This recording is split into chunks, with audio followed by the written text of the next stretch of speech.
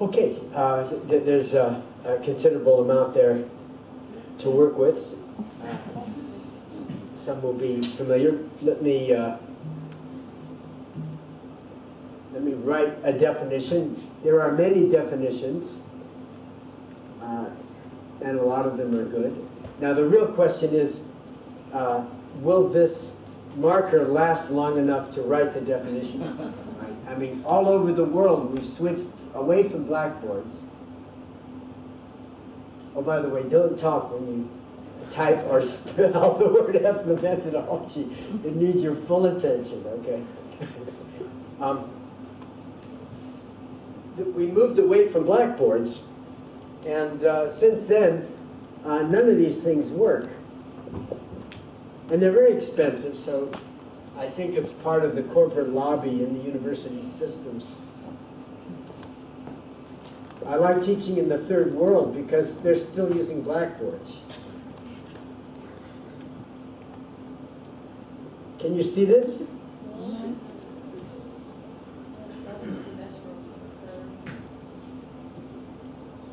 Is it, we're gonna need another one, I'll get one. yeah.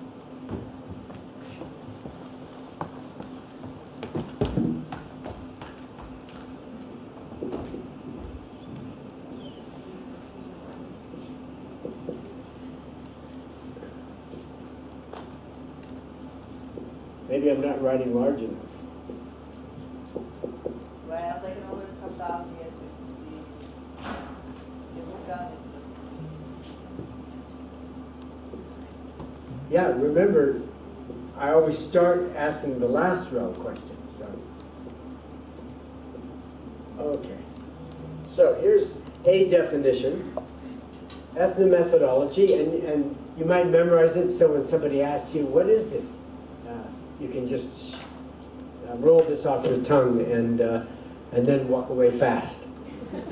Ethnomethodology studies the naturally occurring work of producing and describing the local order.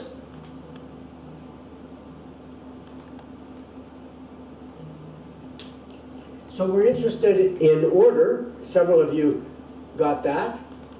Several of you spoke about producing. Um, and we'll talk about that. There's some interesting issues about, about the word producing. Um, but generally, you can call what ethnomethodologists study order phenomena.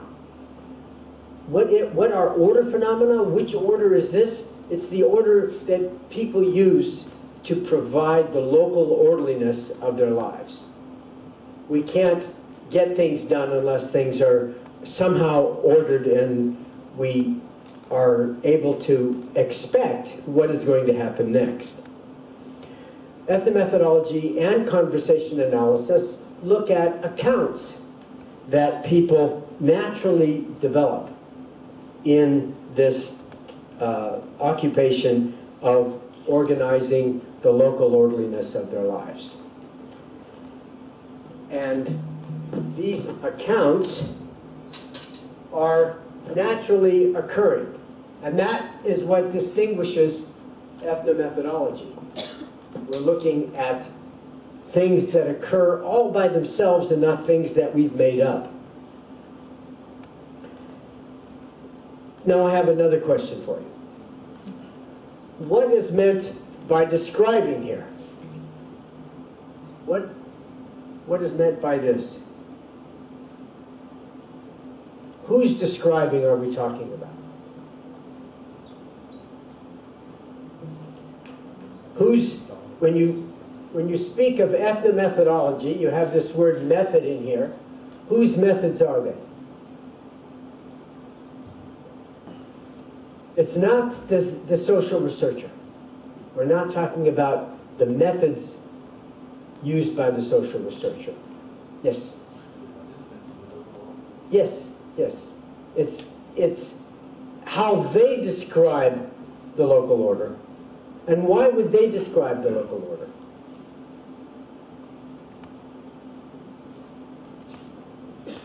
Yes? I suppose they have a particular perspective perspective of it. They're in the in the thick of it. They, have a they can't be objective about it. So- Well, you, you could not be objective and still be quiet. Wh- Why do you describe it? Why do people, why are people constantly describing what they're doing? If we're studying not how we describe it, you might say we're describing, they're describing. Why, why are they doing all this describing? What's the function of it? Yes? Yeah, to make other people understand it. Yes, so that other people can look at the situation in the same way, and thereby an order can be set up so that everybody is on the same page. So people are creating the local order, they're producing the local order through these descriptions, and we call these descriptions accounts. And we say that situations because of the describing that people are doing in situations, the situations are naturally accountable. That is, the people in the descripting, in the describing, are producing accounts, which are summaries of how we're supposed to be doing what we're doing now. And why do people like doing that, do you wonder? I have a theory, and that is that people want things to be orderly, mostly so that they know what to do in order to stay out of trouble. That is, job one for every person in every situation is to stay out of trouble. And that's not easy. People are willing to stay out, do anything to stay out of trouble. They'll go along with any order possible. Or if not to stay out of trouble, a close second would be not to look stupid, right? I mean, we're really concerned about that. So how do we not look stupid? How do we stay out of trouble? We, we do what people expect us to do. But in most situations, we don't know what that is. We're not sure. We're willing to do anything, but we're not sure what that anything is. And so we get into trouble even despite ourselves. And that's very frustrating. I was just trying to, to do it right. I just didn't know what right was. So how do you find out what right is? You listen to the people describing. You, you listen to the accounts that people produce. And these accounts are a natural part of the everyday work that people are doing. Oh, good, a nice, robust. Uh, anybody have a favorite color? We'll, we'll go with blue now. Yes, right. Um, ethnomethodology, that method also has nothing to do with the sociologist. Rather, it's the ology, right? Ology is the study of, right? You have geology, the study of the world, zoology, the study of animals. Well, ethnomethodology is the study of ethnomethods. Now, which methods are these?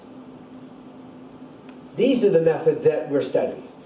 These are the methods of the people who are organizing the local orderliness of their mundane lives so that everybody can get on the same page and stay out of trouble. So they can do what they're supposed to do. And so that they can get on with whatever the task is at hand, whether it's baking bread or creating a, a, a musical performance or, uh, or playing a game. So whatever methods people use to create the local order are the methods we're studying. So that's what ethnomethodology is.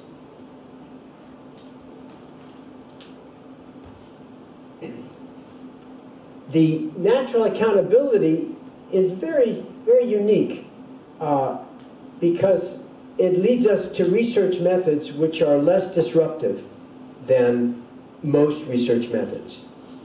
That is, we don't try to coerce data. We're not, we don't take an imperialistic approach to our data. Rather, we want to see the definition of phenomenology. You heard that word, you might be wondering what is phenomenology. Uh, Heidegger described it in his fabulous book, Being and Time.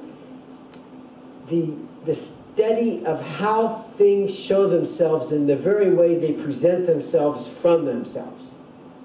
That's a, a lot of words to say, just shut up and listen. Just watch. Just wait for it to show itself and don't try to add anything. Never mind you're a, uh, a Lacanian, Freudian, and you're interpreting everything in terms of, of that theory.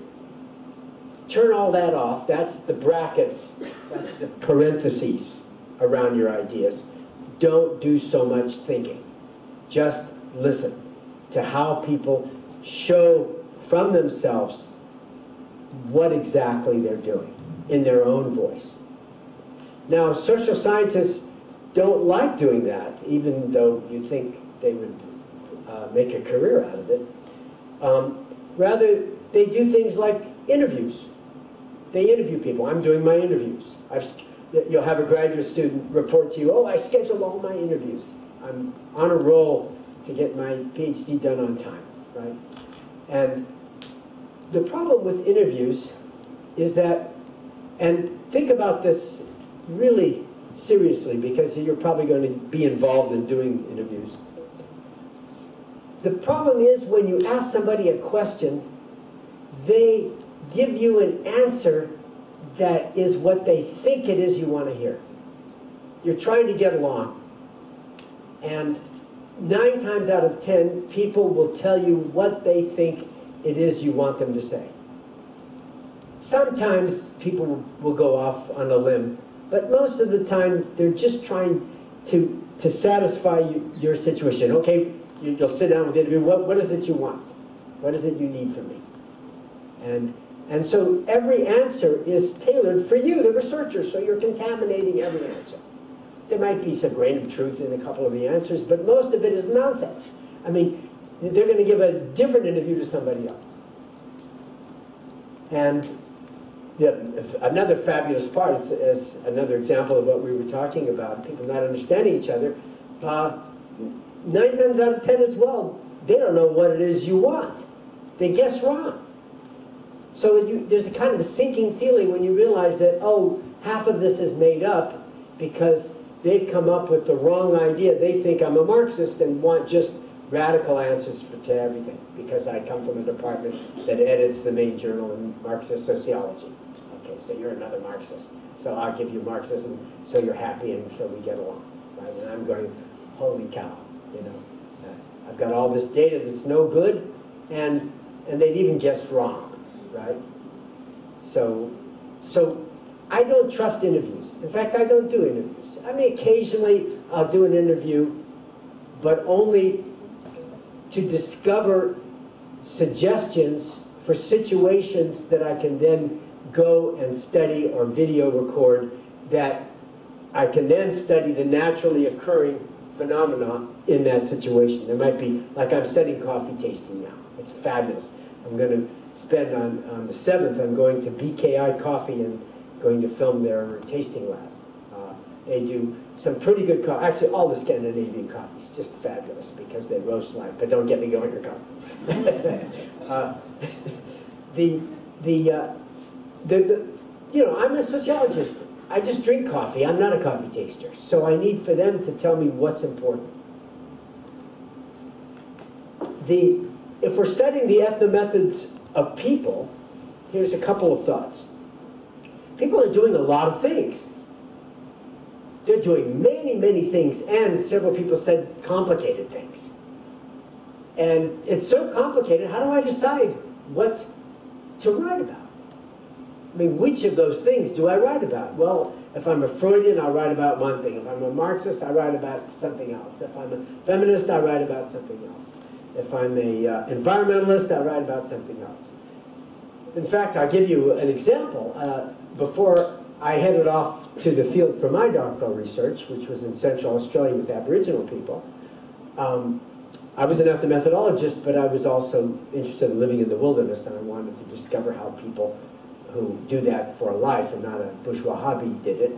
And so I went out and uh, went to Australia and, uh, and studied the language. And I read, as preparation, 20 books at least, a stack this high, of anthropological tomes on Aboriginal people. And every, every book was like, you know, like, you know the story of the 10 blind men and the elephant? Right? You, you have, uh, you have, you have 10 men, uh, some of them very wise with beards, and they're blind though.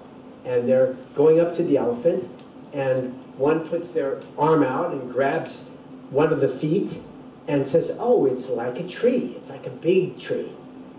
Uh, and an another puts his hand on the tail and says, oh, it's like a broom. Uh, and another puts his hand on the, on the trunk and says, oh, it's a, a bit like a fire hose. And so they all have this argument about, about what it is, because each is grabbing onto a different aspect of it. That's what it was like reading these, these anthropological studies. I mean, you got the Freudian study, you know, uh, uh, you know, even, even by a student of Freud, you, you got uh, the functional, the, the structural functionalists talking about kinship structure. I mean, oh my God. Yeah. They, kinship is very important. I don't know if it's more important for Aboriginal people than other people, but it is very important, and we do organize kins in different ways from society to society, and you need an Aboriginal society to know something about that. But I think anthropologists are much more interested in kinship structures than Aboriginal people are. Uh, I mean, it's amazing. One, once you had the first definitive study, all the students wrote about it, and then you had anthropologists reading nothing but studies of kinship structure, and that's the only thing for about a generation that we learned about Aboriginal people was the kinship. Well, they do have other parts of their lives, you know. Uh, but you know, it's it's it's not untrue, but but you get the kinship structure, you get the Marxist sociologist. Uh, I mean, it's unbelievable. Each one is like all you are mostly learning about is the world of the ethnographer. And the people are hard to find. In fact, I was fairly convinced by the end of it that my brain was so filled with all these different theories and perspectives that I could no longer see the Aboriginal people. And when I got there, I was just projecting one thing from one book after another onto what I was seeing, and all that openness that somebody talked about uh, was no longer operative. So theories help you because you might not have noticed something about a people that are important, but they also fill up your mind so that you can't remain open to learn what you need to know most, which is what you don't know. So how do you discover what you don't know? That's really the question that we're facing. So my professor, Harold Garfinkel, used to say that ethnomethodology is trying to study what is most identifying of the local work of creating reality and creating social order of a group that we're studying. What's the most I can't write everything. I can't write everything about coffee tasters. But you study them long enough until you have a pretty good insight into what's what's the crux of their daily lives. Now, some of my students say, I mean, as I said, I teach in a Marxist department, right? We edit the monthly review, which is like the major journal. And especially among the graduate students, we get really gung-ho people. Uh, uh, I mean, I'm a I'm hardcore leftist all my life, but I don't believe the truth is like getting on a bus that says, you know, truth, and uh, and that you then have to, you can just relax and put the seat back and go for the ride, knowing you're going to get up, end up at the right place. Uh, and a lot of our graduate students are a bit like that. Uh, so uh, they, they are saying, well, all we're studying these mundane things. I don't want to study mundane things. I want to study the revolution. we don't have time to study mundane things, right? And, and, you know, I say, yeah, you know, I, I understand, but, you know, even the revolutionaries, you know, take turns when they talk. Uh, you know, it's, uh, it's, it's very important.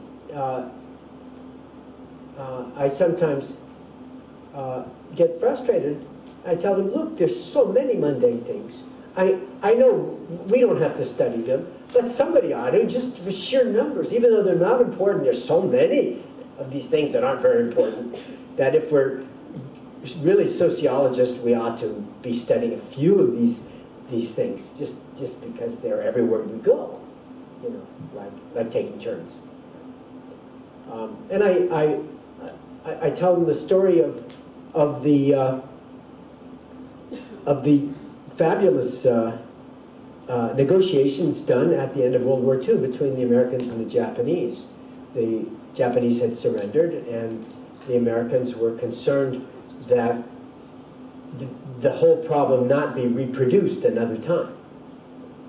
And, uh, and so they tried to uh, create a constitution and a democratic republic, which they succeeded. I mean, it's actually quite an achievement. There, something good has actually happened in history. Uh, there are the, the democratic uh, governance of, mostly democratic, I mean the corporations run everything, right? But uh, of, of Japan. And, uh, and they were, uh, they were going through the, the, the, writing the constitution for the new Japanese governance. And there were the representatives of the Japanese government and the U.S. negotiators. And the problem is, uh, you know, both America and Japanese are very ethnocentric. I mean, they don't know, they think they're the only store in town, right? I mean, they really don't have a clue what other cultures are doing. I mean, some cultures do. I mean, I, I think Denmark's really good on that score. Uh, but, uh, well, I won't go on about American ethnocentrism or Japanese ethnocentrism, except to say that they had a hard time communicating. Not just language, but just, just, and the Americans realized, though, these negotiators, that they couldn't just force their views on other people. I mean, they did do Article 1 of the Constitution and Article 2 of the Constitution. And so they relied on their translator, who was the daughter of an American ambassador uh, and grew up in Japan. So she was not only fluent in Japanese society, but she actually was fluent in Japanese culture. She was bicultural. And she, she really bridged all these gaps, and she was especially good at communicating the needs of the Japanese to the American negotiators. So that the American negotiators said, oh, okay, so we can't do it quite like that. We have to do it in a different way in order to have it compatible with the Japanese society. And she had really been very successful at defending Japanese interests and during these the, the, the negotiations of this constitution. And, but she really had a pet peeve, and that is she wanted women to have the right to vote. She really felt strongly about that, and she was very worried that these Japanese, all male negotiators, would not, not everybody in the room but her was male, would not uh, put in universal suffrage, you know, the, the right to vote for everybody. Uh, and she wasn't sure how to do it, and she had conversations with the American uh, negotiators about how to approach the problem. And the head negotiator said, I think we have, I think I've got a good idea. Why don't you excuse yourself from the room while we have this conversation and we'll approach it from another tack. And so uh, when they came to that part of the Constitution, she excused herself to, to go use the women's room. And while she was out, the head American negotiator said to the Japanese, um, while, while she's out, um, I think we can do the next issue, which she cares about very much. And I don't think there's going to be a, a big dispute about it anyway, uh, because uh, she really thinks it's important that we give women the right to vote, and she's been so helpful to all of us here. The work that she's done, we owe her, a, we are responsible to, if, to, to show her how much we value the contributions that she's made. And they go, oh yes, she's really been instrumental to the success of writing this Constitution. Uh, and we owe her a lot. And, and so the American negotiators said yes. So because we need to fulfill this responsibility, the best way we can complete the responsibility is to uh, just pass this without any, any discussion or amendments. Uh, and we do it before she comes back. And they said, yes, that's what we have to do.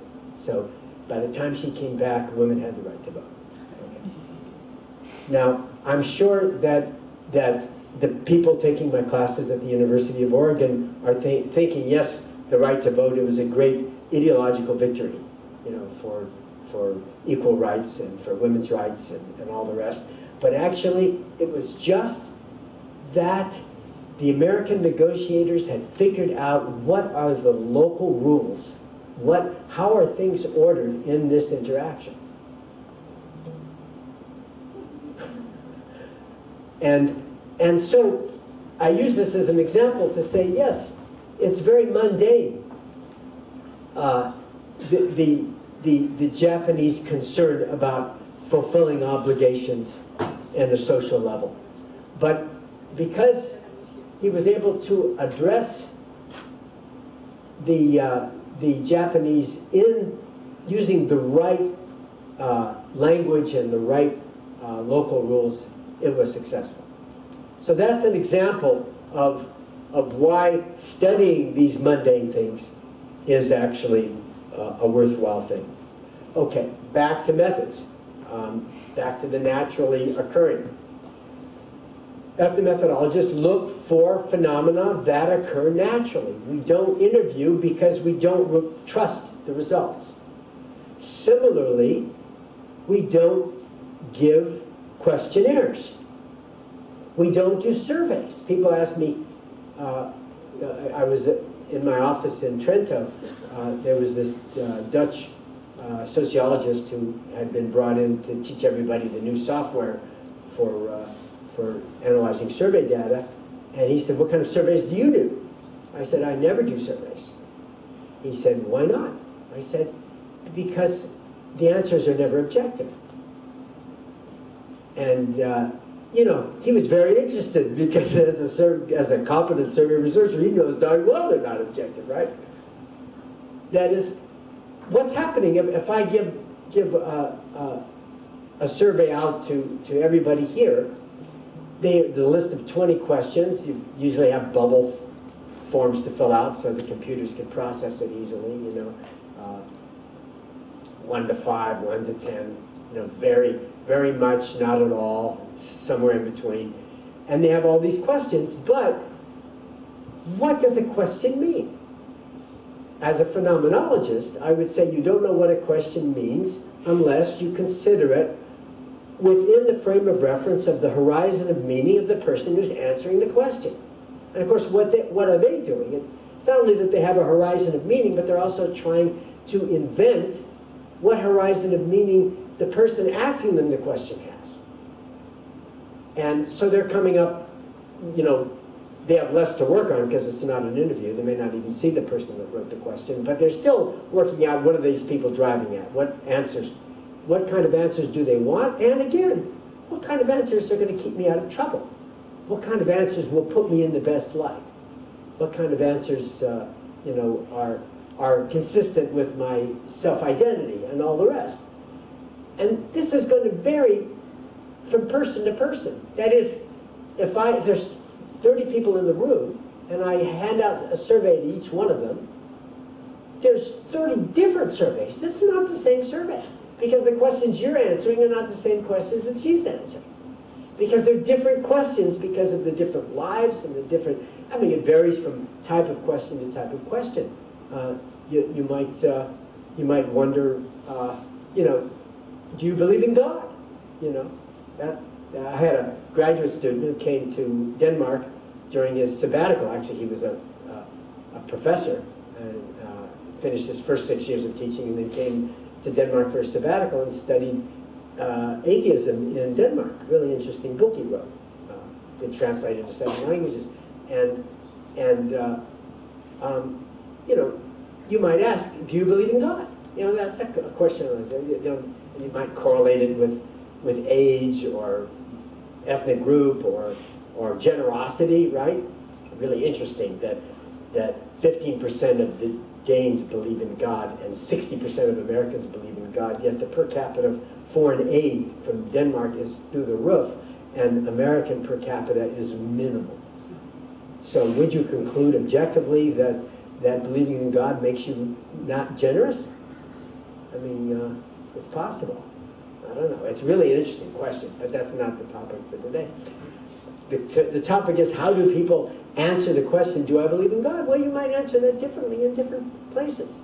You know, if you're on the day that your confirmation is held and you show up at the church and all your relatives are there and and you know your your uncle or aunt asks you do you believe in god you might say yes right but uh, you know at the end of the weekend after all the partying you know you might confess to your cousin well i don't really believe in god you know so so it also depends on those kinds of conditions um, you know do a lot of these questions are stupid. You've taken these surveys. Well, you know, you've taken dumb surveys, I'm sure. You know, do you do the right thing? Do you try to do the right thing all the time? Nah. None of the time? No, I'm better than that. I'm even better than, than, than sometimes.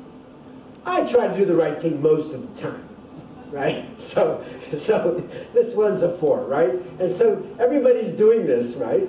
You, you get a range, and then you tabulate all the numbers, and then uh, and then you you figure out all all the young people today, you know, between the ages you define it, uh, between the ages of 18 and 24, all the young people today, uh, 3.74 uh, on the scale of one to five do try to do the right thing, you know, uh, and and that's an improvement from the previous generation. 20 years ago, it was only 3.5, right?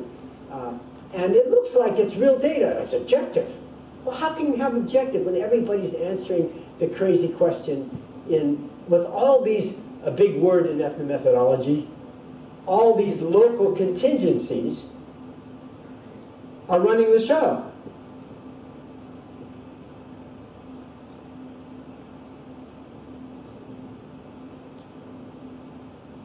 you know, one local contingency was how they got the right to vote for women in Japan. Our world is local contingencies, and the researcher misses it, especially survey researchers, because survey researchers are just counting people. They call themselves sociologists, but they never leave their offices, for Pete's sake. I used to have a rule that I would not sit on any doctoral committee of a student who did not travel at least two blocks from campus to do their research. And, and they considered me hard-nosed for that policy because they just want to download the data off the internet. But what data are they downloading? Nonsense. They're downloading, they don't know where the data came from. Yeah, but it's, you know, it's all these numbers. They're all objective. Well, are they objective? You know, you have a United Nations researcher going out to every country of the world. You know, they go to uh, uh, Michael Moerman, a conversation analyst, ethnomethodologist, wrote a great book called Talking Culture. Uh, and he describes this story about going to, uh, I think, it wasn't, might have been Guatemala. Might have been Guatemala, I can't remember. In one of the Central American countries. Um, and the, this United Nations researcher was going and studying, uh, you know, do can you develop an economy in a place where people don't know how to defer gratitude, right? It was like a social psychological study. To defer gratitude, uh, uh defer, defer, that's not the word. to, to, to, to defer uh, uh, gratification, to defer being satisfied. You know, if you're gonna, if capitalism is gonna work, you're going to uh, you're going to have to not spend your money. Aboriginal people can never be successful in a capitalist system because they give everything away to their friends. I mean, they, they do that. They like doing it. It's not a problem for them. Uh, but to make capitalism work, you have to not give things away. You, you have to, to accumulate. They actually passed a law in the United States in 1937 or, no, no, that was too late, 27. Uh, yeah, but before FDR. Uh, they passed a law making it illegal for American Indians to give things away because they wanted them to develop capitalism and they realized they couldn't do it, right? So he, deferred gratification, that's what it is. Yeah. So, so can people, if they save their money and don't, don't spend it now, then they'll have money to reinvest and then it'll grow and they'll become rich and be a lot better off in the long run, right? You get this advice, I'm sure, uh, there's a lot of Lutherans in, in Denmark, right? Uh, maybe, I, I know a few. Uh, and, uh, and this is a good, good Lutheran policy, okay? So this guy's tromping around. I mean, the first problem he has, the first local contingency this UN researcher has in Guatemala is raining all the time and none of his pens are working, right? You can't get the pens to, to work, right? Uh, so he finally solves that problem and then he trips out again. And he's has a surveys that he's giving to each village and he's got with him uh, people who speak the local Indian language. So he's got some language adequacy, hopefully, right? Uh, and they ask him, uh, they ask each, each person a series of questions. One of the questions is, if I gave you a new car now, would you take the new car now? Or if I told you if you turned it down now, and two years from now I would give you two new cars, which would you do? Would you take the new car now or wait two years and get two cars? Okay, these people, he had to hike a day from the nearest road up to these mountain areas, and there's a bit of overpopulation, so they're having problems uh, finding farm space for the offspring. As their children grow up, they need their own land to farm. And, and they're trying to grow corn and, and some other crops, and uh, they need space to grow land. The guy is thinking, my God, I don't have I don't have a way to get the car here, for one thing. And if it was here, I wouldn't have a place to put it. And it's going to take up more space. I won't be able to grow any crops where, where the car is and where, where the road is. It's going to, that road over the driveway is what's really going to kill me. And so he, uh, he says, I don't want the car now. Okay? So he gets marked off as, as someone not, uh, uh, who is capable of deferring gratification. Someone else thinks a little more deeply and says, oh my God, uh, it's going to take up all the space I have. Uh, I won't be able to, to, to plant those, those potatoes after all. Um, oh, but if I have to choose between one car and two car, I'll choose one car. Uh, one car is better than two cars. And so he says one car, so he gets categorized the, the other way as someone who can't defer gratification. And all these things get tabulated. The people disappear, right, in the report. These are just populations that these sociologists, these social psychologists are studying. Rather, ethnomethodology is not interested in studying populations.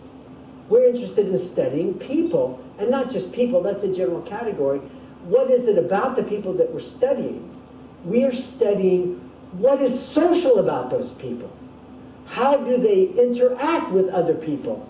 What are the social orientations? How are they looking at the situation to figure out how they're going to get along? What is the most social part of their lives? They work and live together as a cooperative exercise. They're not individuals that stand apart, anonymous. And why wouldn't sociology study that? We had one of the most famous sociologists in the country come to, wanting to come to our department. God knows why. He, he, was a, a, demographer, and he was known for his uh, groundbreaking studies of fertility throughout the world. And, you know, they're dealing with issues like, like how do you prevent overpopulation in the third world? You know, kind of a similar interest in some degree. And and he came and, and I said, well, have you ever done any field work in the third world? He says, oh, yes. I said, oh, good. Uh, which country? He said, Thailand. I said, uh, how long did you spend in Thailand?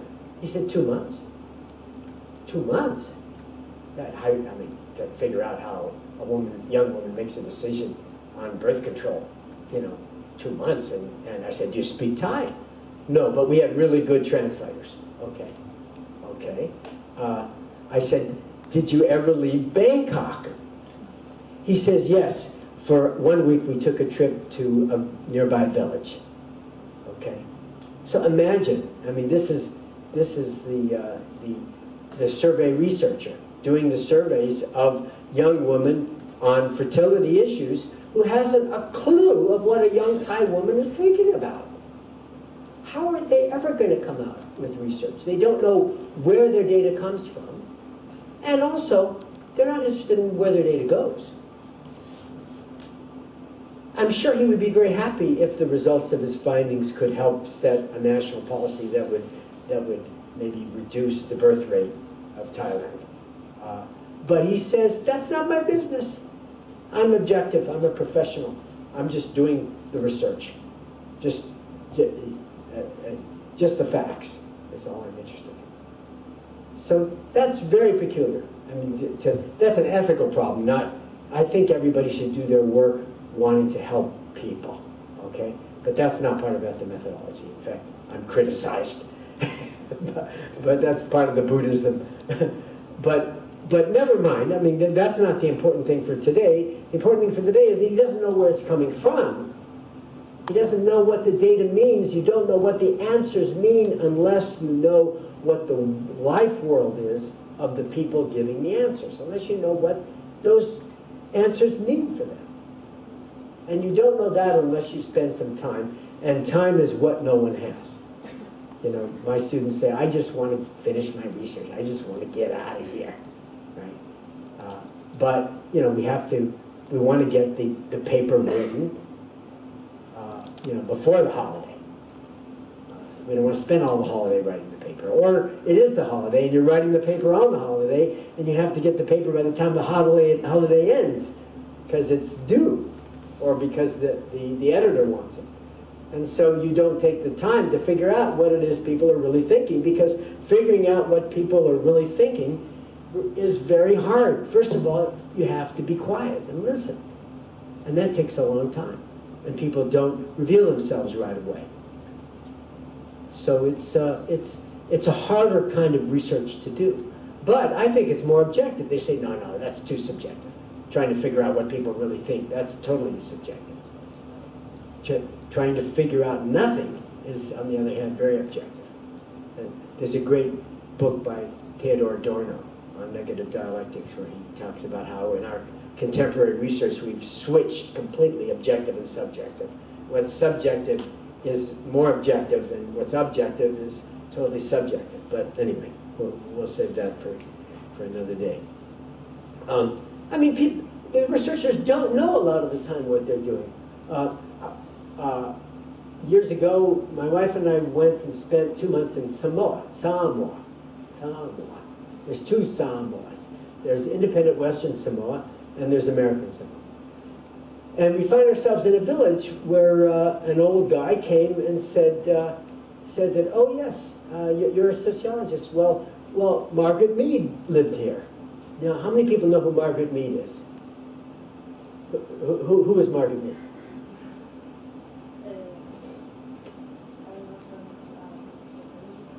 What? It could be psychology, but, but, but, but you know what she's famous for? Eth- ethnography, and which ethnography? Oh, well, you want to read this book. The name of the book is Coming of Age in Samoa, Bali? not Bali, uh, Samoa.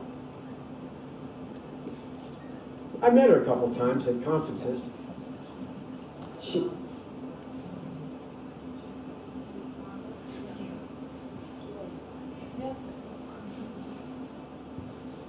Uh, you, you, your life would not be the same today if it wasn't for Margaret Mead. She changed your life in, in two important ways. One way is she was in a world run by paternalistic anthropologists. She showed the world that a woman could be an anthropologist just as well. Okay, and that really made a difference. But the other thing is, you know, she she did her research right after World War II, and uh, she grew up in the 30s when Freud was what everybody read. And so she read a lot of Freud. And she had a critique of American culture, which was that everybody was uptight sexually, that people needed to be more free. And when she went to Samoa, she discovered that people in Samoa, especially young people in Samoa, would make love as much as they like with anybody they like. And it wasn't immoral. It was moral. And so she wrote this book, Coming of Age in Samoa, which scientifically demonstrated that there was the possibility for some human cultures to have more open sexual lives and for it to be moral and not immoral. Right? That's a big step. She took Freud and turned it into some anthropology. And once people read this book, they said, oh, so we don't have to be uptight after all, right? And then, lo and behold, you know, we had the whole sexual revolution. That's a big change, which you are all experiencing, I, am sure. So we owe Margaret Mead a lot, except, so I was surprised. Here I am in the village where Margaret Mead did some of her research. I said, well, tell me, you know, I met Margaret Mead. I, I know her. Uh, what was she like? And she said, he, he said, well, she was always asking questions about sex. and I said, oh, really? Uh, uh, and uh, did you answer those questions frankly? Uh, this was in American Samoan, so we spoke English. I could talk freely. Uh, and he said, well, you know, we answered the questions, but we made a lot of the stuff up because because she she loved hearing these stories so much that that we we made up more stories than were true. I thought, oh my God, you know, I mean, so that's a, that you can file that under the problems of doing interviews. Okay, better just to go and be quiet. Um, but they're still, still going to tell tell you what what they think you want to know. Okay, the problem with, with surveys is body counts versus people uh, being social. Um, uh, if you read Durkheim, he talks about the difference between the sum of individuals and the, the new sociality. He wrote this fabulous book, the most important book ever written in sociology, called The Elementary Forms of Religious Life, where he describes how people uh, develop social solidarity. How they create, what they're really after, what religion is really about, is the solidarity and the collective feelings of good vibes. He called it collective effervescence that people experience when they come together and engage in religious rituals. And that that's what was sacred. That it was the sociality. So people, when they come together, become almost a different species, like a quantum leap, right?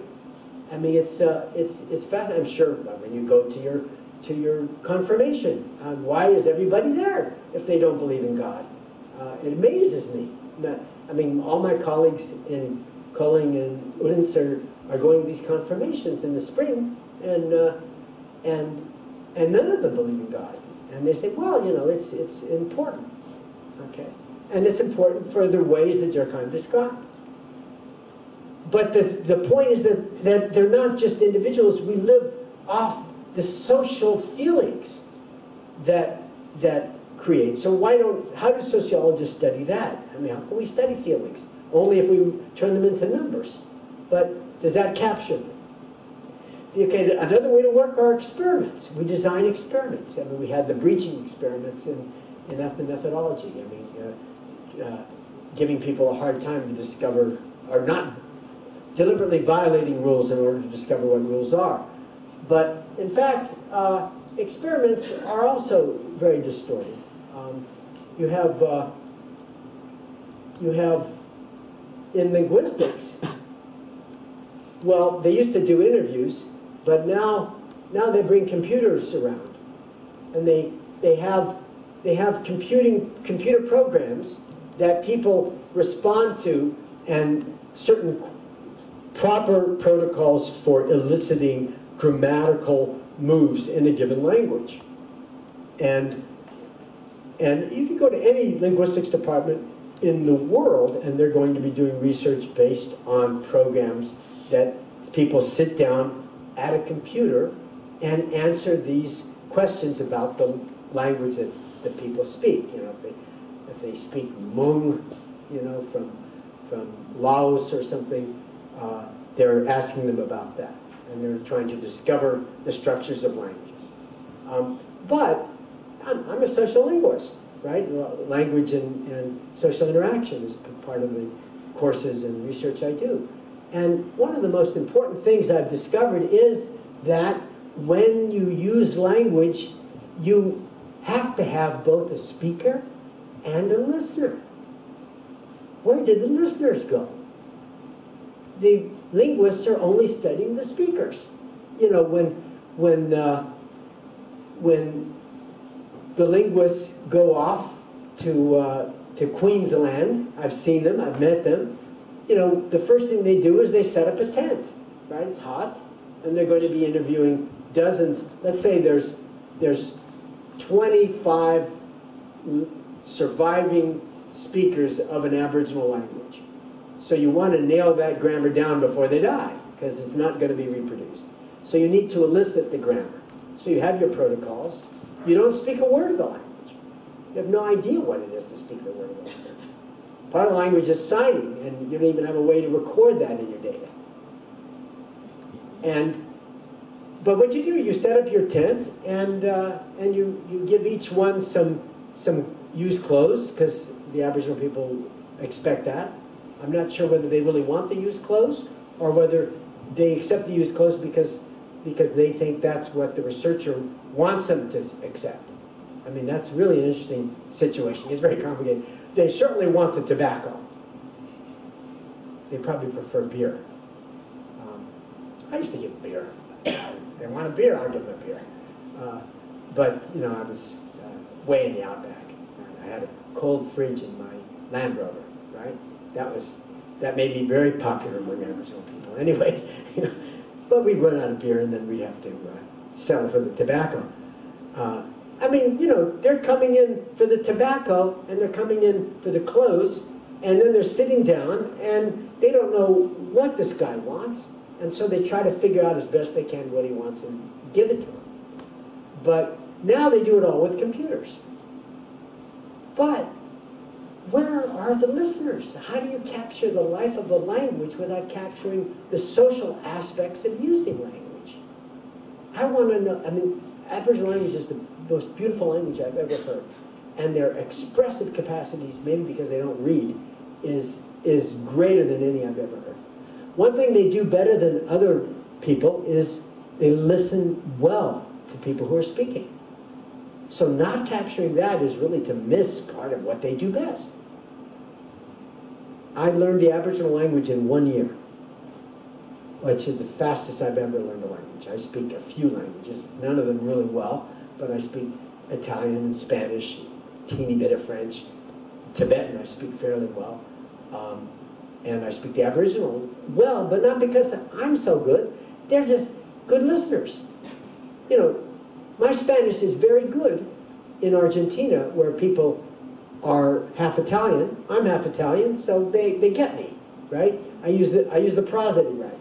Uh, um, in parts of Mexico, it's a completely different rhythm to their speech, and they can't hear me at all. So, am I fluent in Spanish? It depends on who's listening. Haha. There you have it. It's a collaboration between hearer and, and speaker. Uh, on the other hand, the Tibetans don't want to speak Tibetan to anybody. They'd rather keep the language in English if they know English, because they're very protective of their privacy. If you're, you keep it in the foreigner's language, you're not going to get an insight into your own life. So, so I had to go find a Tibetan community where nobody spoke English, which I finally found, and after that I finally learned Tibetan. But in one case I was fluent in a year, in another case it took 10 years, simply because of the capacity of people to hear me. Because, because people make sense of what you're saying, and you can get by. And you're very happy, and you're sometimes stunned at, at, at being able to pull off a foreign language. Uh, so, uh, the problem with the, with the linguists then is that they use these experiments, and the experiments are tightly controlled situations, which are designed from the horizon of meaning of the life world of a professional academic. You need in your research design you need to come up with some place where what you don't know can appear and be witnessed. You need the indigenous people, or the people you're studying, the groups you're studying, you need some place for them to be original and to capture something new. Garfinkel used to call it news. You know, the, the real reason we're doing research is to learn what we don't know. If we already know, why are we doing the research? that doesn't change the fact that when you apply for a grant, you're going to have to tell them exactly what it is you're going to find out. Right? And the methods you're going to use, which is against one of the fundamental principles about the methodology, which is don't you don't know the method until you get until you arrive in, on the scene. Because you don't know what are the ethnomethods people are using. We don't have methods as ethnomethodologists. All we're doing is describing what they're doing. That is, we're identifying what they're doing and then describing what they're doing. So the phrase in ethnomethodology is every method is uniquely adequate to the occasion that we're studying. So you can't use the same method twice. It's like snowflakes because people are like snowflakes. They're not all the same. Well, we got to use the standard accepted methodology because everybody's the same. Garfinkel was part of a research group into how jurors uh, organize their thinking and make decisions. Uh, part of a, the early part of decision sciences uh, in Chicago.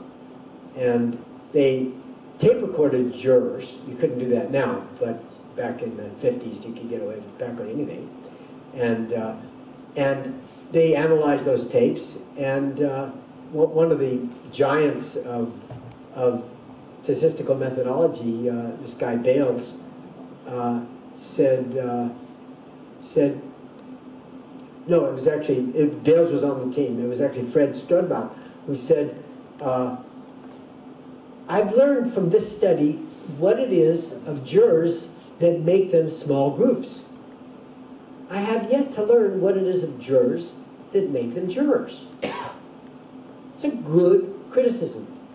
So what we want to do is, if we want to study the uniquely identifying ethnomethods, right? If, you, if we want to capture what, what makes Aboriginal people Aboriginal people, then let's capture what they're doing.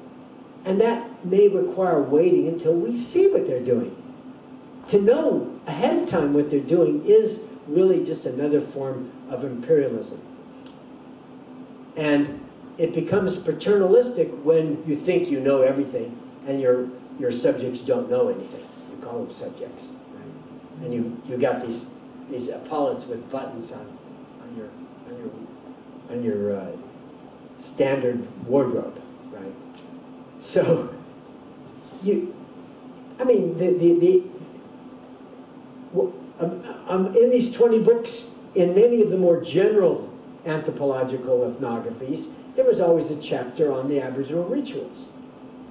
Now, I participated in a number of Aboriginal rituals, and uh, they're really interesting. Um, and they have some drawings that they do in red ochre, and they also have some scarring that they do, that are designs uh, related to totemic beings. And you get these long descriptions in the anthropological literature. Oh, the scarrings are between so many meter, so many centimeters, and that so many centimeters, and they're they're more on the back than on the front, and, and some people have this kind and some people have that kind. You could, you could waste a weekend reading all the details, anything that could be counted or abstracted from, from the scrawling or the painting, you could, you could read about. But what you don't capture are what does it mean for the Aboriginal people doing the rituals.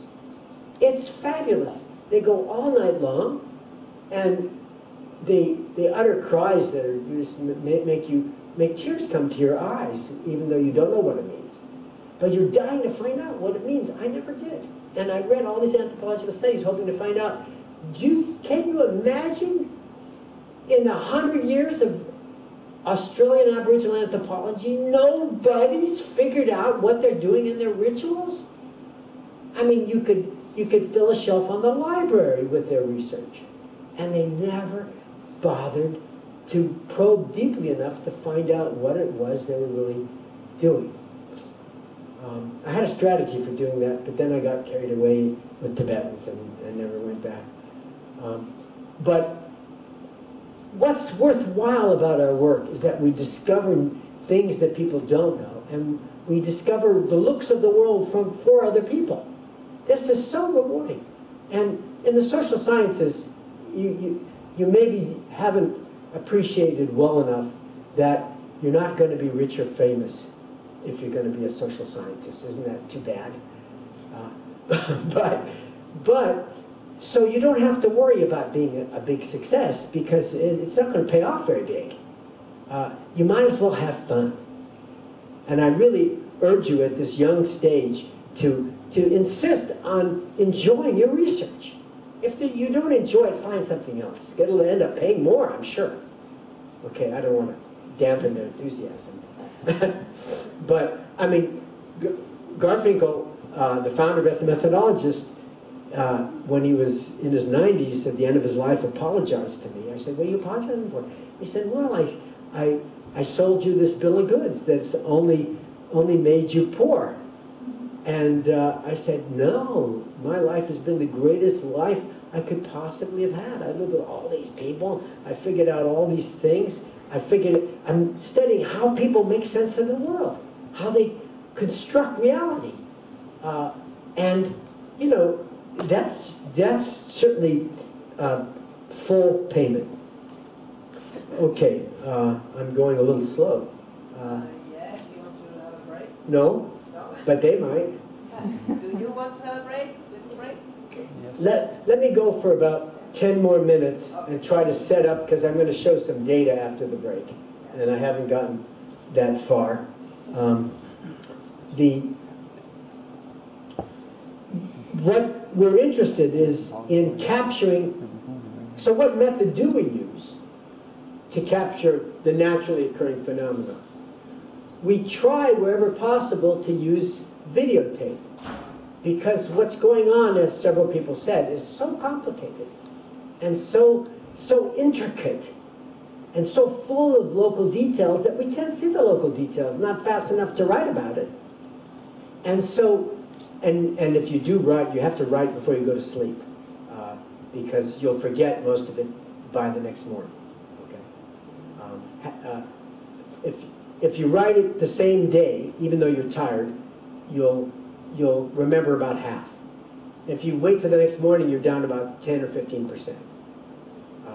But better than writing is to is to video record, because then you can see it again and again and again. So we we try to capture ordinary interaction, um, and that's led us to an incredible discovery, which has shaken the foundations of social science, and that is mostly in the past, social microsociologists, social psychologists have reduced what people are doing to concepts. And that's how phenomenologists work. They try to reduce it to concept and ideas that people have. It turns out, we discover on the tape, a lot of the time people don't know what they're doing. It's not clear to them what they're doing. So if we're supposed to record what they're doing, what to provide the local orderliness, what if it's not ordered at all? What if they're still confused at the end of the day? if we're going to be objective, our ethnography has to reveal and describe that confusion. But you won't read an article like that because the researcher will rewrite the confusion as ordered, as a narrative skill. Okay? You want to capture whatever they're doing. That's the phenomenology. So the, what's on the tape is fabulous. Uh, you, you see a lot of what people are doing is also ordered, but not conceptual. It's preconceptual, it's postconceptual, it's embodied. They're producing and observing. Mostly, they're not producing anything. Producing is like a dangerous word to use. The creation, the construction of reality, the producing of local order. It's a dangerous word to use because it buys into the Enlightenment, the myth of the Enlightenment, that people always know what they're doing. The rational, uh, ethnocentric, logocentric, I know what I'm doing, I'm in charge of everything, uh, and everything is deductive. The decision sciences are full of this nonsense, right? You know, pe people don't know clearly and distinctly what they're doing. And yet they're working with whatever coherence appears naturally. They find a coherence, they find a way of organizing a local situation, and they snag it. And it's crazy stuff. I mean, it comes up serendipitously. Serendipitous means in accidentally. Comes up, uh, and they all hop on and say, yes, this is how we're going to do it. You'll do this in your research. You won't know what sense to make of your data, and then at some point you'll say, ah, this is what, this is how we're going to do it. And then you, you all see it at the same time. But it's not that everybody planned way ahead of time. We did this research in order to discover such and such. And we did, we analyzed this aspect of it because we wanted to know. You didn't know any of that. Although when you write the, uh, the report, you might say that you knew. But in fact, a lot of things happen accidentally. People are opportunists. They find naturally arising order. And then they proceed with, with naturally accountable phenomenon. So the natural, I think you understand well. We look at what people do without being distorted by our designs. And then the accountable is, is a word that people trip over. There's two sense of accountable that we have to appreciate. The first sense is people verbalize a description or a formulation that explains or describes what we're doing in this situation. Right now, uh, you know, we're not watching television, we're having dinner. We are having dinner. And that, that is an account. And it also helps to found a local order. So when, as a way to solve any confusing situation, people put words to how everybody is supposed to make sense, and they verbalize those ways so other people can hear them. And having heard them, they can get on the same page. And there you have your local order. So that's one sense of accounts. Accounts as summaries for what we're supposed to be doing. Another sense of accountable is the notion of that people will be held accountable for what it is that they're doing with their lives, for how they're behaving at the dinner table. So, so you, you know you're going to be held accountable to comply with the expectations, but you don't know what those expectations are. Sometimes you do, sometimes you don't. So the, the word accountable is not only providing summary account, but also an orientation to how other people are going to accept or reject what we do. So we're, we're, we're acting in the language we use, in the tone of voice, in the spacing. You know, let's say I'm having dinner. Uh, you know, I, I don't know uh, Denmark. I've only had dinner at a few houses. And when I'm sitting at the dinner table, you know, a, at least in America, the question is, are we going to say grace before we have our meal?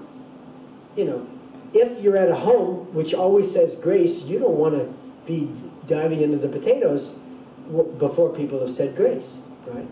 And you also want to let people think that, oh yes, of course, I always say grace. You know, everybody says grace, don't they? It's, it's, it's, it's a given.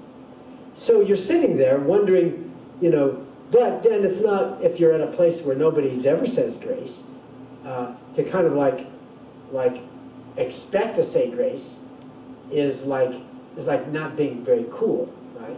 Kind of like being old fashioned. Uh, and so when people just dive into the food, you, you go, dive into the food as though that's, of course, what people do is, is you, you dive into the food without saying grace. You know, I don't say grace, who says grace anymore? That is, you can go any way the wind blows. And a lot of life is like that. And you're sitting there on the fence waiting for some indication because you're going to be held accountable for doing it wrong. And you don't want to do it wrong, but you don't know whether you're supposed to say grace or not say grace. So you really uh, are very adept at, at, like a chameleon, fitting in. And that's how local order is established. So we'll take a break and uh, I'm going to set up some video so you can see what looking at video is. I'm going to show you know, about four examples of people uh, providing accounts, doing accounts, uh, and give you a bit of a model. We're not big on models in methodology, but I've come up with a model. Very dangerous thing to do, uh, but I think it helps students understand. Okay, thanks for your attention. Ten minutes, so eleven o'clock. we'll be back. I'll, I'll.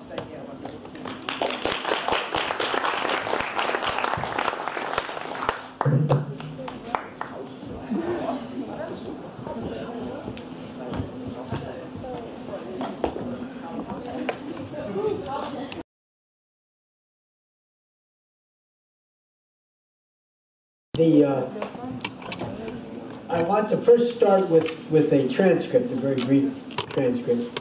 Um, I'm doing this research on coffee tasting, and the, this was from some data collected by my students of uh, college-age people evaluating coffee in the a cafe close to our university. Um, and I said to you that, in fact, uh, people don't know what they're doing a lot of the time. At least they don't know what they're doing as much as both the researcher and the people themselves think they know what they're doing. Okay. Um, and I want. I also wanted to talk about how it was a bias of the Enlightenment that people do know what they're doing. The whole I. The whole argument of John Locke and Thomas Hobbes and all these wonderful thinkers who gave us our ideas of civil liberties and stuff uh, presumed that there was something like a social contract where people, you know, voluntarily thought through society and agreed to give up some rights for, for some privileges. Uh, but there was no social contract. I mean, people were already thrown into a system. And the notion of a tabula rasa, blank slate, is just a theorist's device. Um, that's not to say that the civil liberties aren't wonderful. Um, but the, the just so story that, uh, that Locke and Rousseau tell about how things, people happen, people don't know everything that they do. They, they do and then they find out afterwards uh, what it is they know.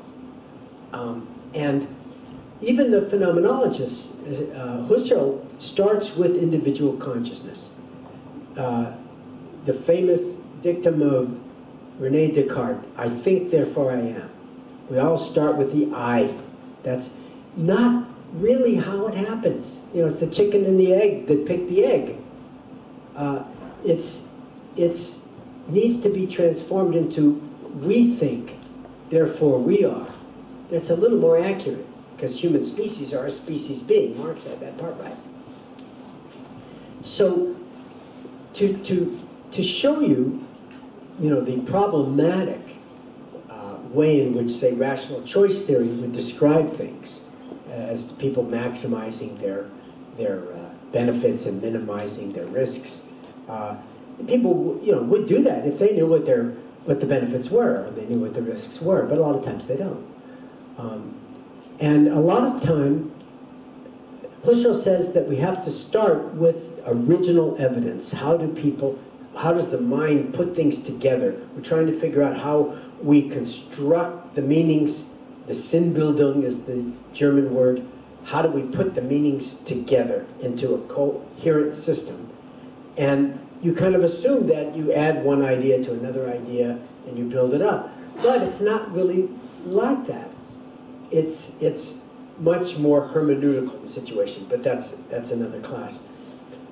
What we're trying to, to promote here in ethnomethodology is that what's original is the group situation, that thinking is a public activity. It's not just a, uh, a, an individual, totally thought out, rational uh, activity. That a lot of times the social demands and the social agreements take place before people really know what it is that they're committing themselves to. And this, this uh, example, in a very brief way, demonstrates that. Two, you have two students, A and B, and a student interviewer. And one student said, there's actually a third, a third student tasting, but didn't say anything. Um, the, the one student was drinking and says, it's definitely bold. That's his account. Okay, it's definitely bold. Okay, uh, one thing I've learned is whenever anybody used the word definitely, it means they don't know. If, if they if they really were definite, they just say it's bold, right? It's definitely bold. They're trying to, to psych themselves up for believing what they're saying. So that immediately is a suspicious comment. And then his friend agrees it's a very bold coffee. That's a confirmation? You get the account, it's definitely bold. It's a very bold coffee. So um, I like to uh, remind my students that just because two people agree on something doesn't make it true, right? It takes three people before truth begins, okay? When the third person comes in with bold, then it'll be solid, and then you get into this, this moral obligation to believing that what you said is true, right? But at this point, it's just these two. And then B is encouraged and says, I definitely agree with the boldness, okay? I definitely agree with the boldness. Okay, and then they talk about some other aspects, and then B tries to summarize, and a lot of times in an interaction, people will give a summary account. He says it was really sour, bitter, too strong, but bold. Okay, uh, and you know they've learned how to talk in the acceptable way, and so the interviewer, since we're doing a study of coffee tasting, the interviewer cleverly asks, "What do you mean by bold?" Right, and then the, surprised by that, the, the, the person who said bold said, he was the one that said bold. No, he was the one that just agreed to the bold. He was the one that convinced you that what you said was absolutely true. Um, how is bold? So here they come to an agreement about bold. It gains some status in the assessment of the coffee. And they don't know what bold is. They've agreed to something that they don't yet know what it is. And that, you may be thinking right now, oh, well, the weird things like this do happen from time to time. I, I recognize that. But I may suggest to you that most of it's like this. That it's very rare that we really know the meaning of what we've agreed to in a social interaction. In fact, the reason we carry out the social interaction is to find out what the meaning is of what we agreed to. It's like, and has anybody heard of the woman Nancy Pelosi? Okay. More than Margaret Mead anyway, but uh, Margaret, they're both very good, but Margaret Mead I I would probably recommend first. Um, Nancy Pelosi was uh, Speaker of the House of Representatives of the United States, and now she's the head of the Democratic caucus in the House of Representatives. She's a very savvy politician. I like her very much.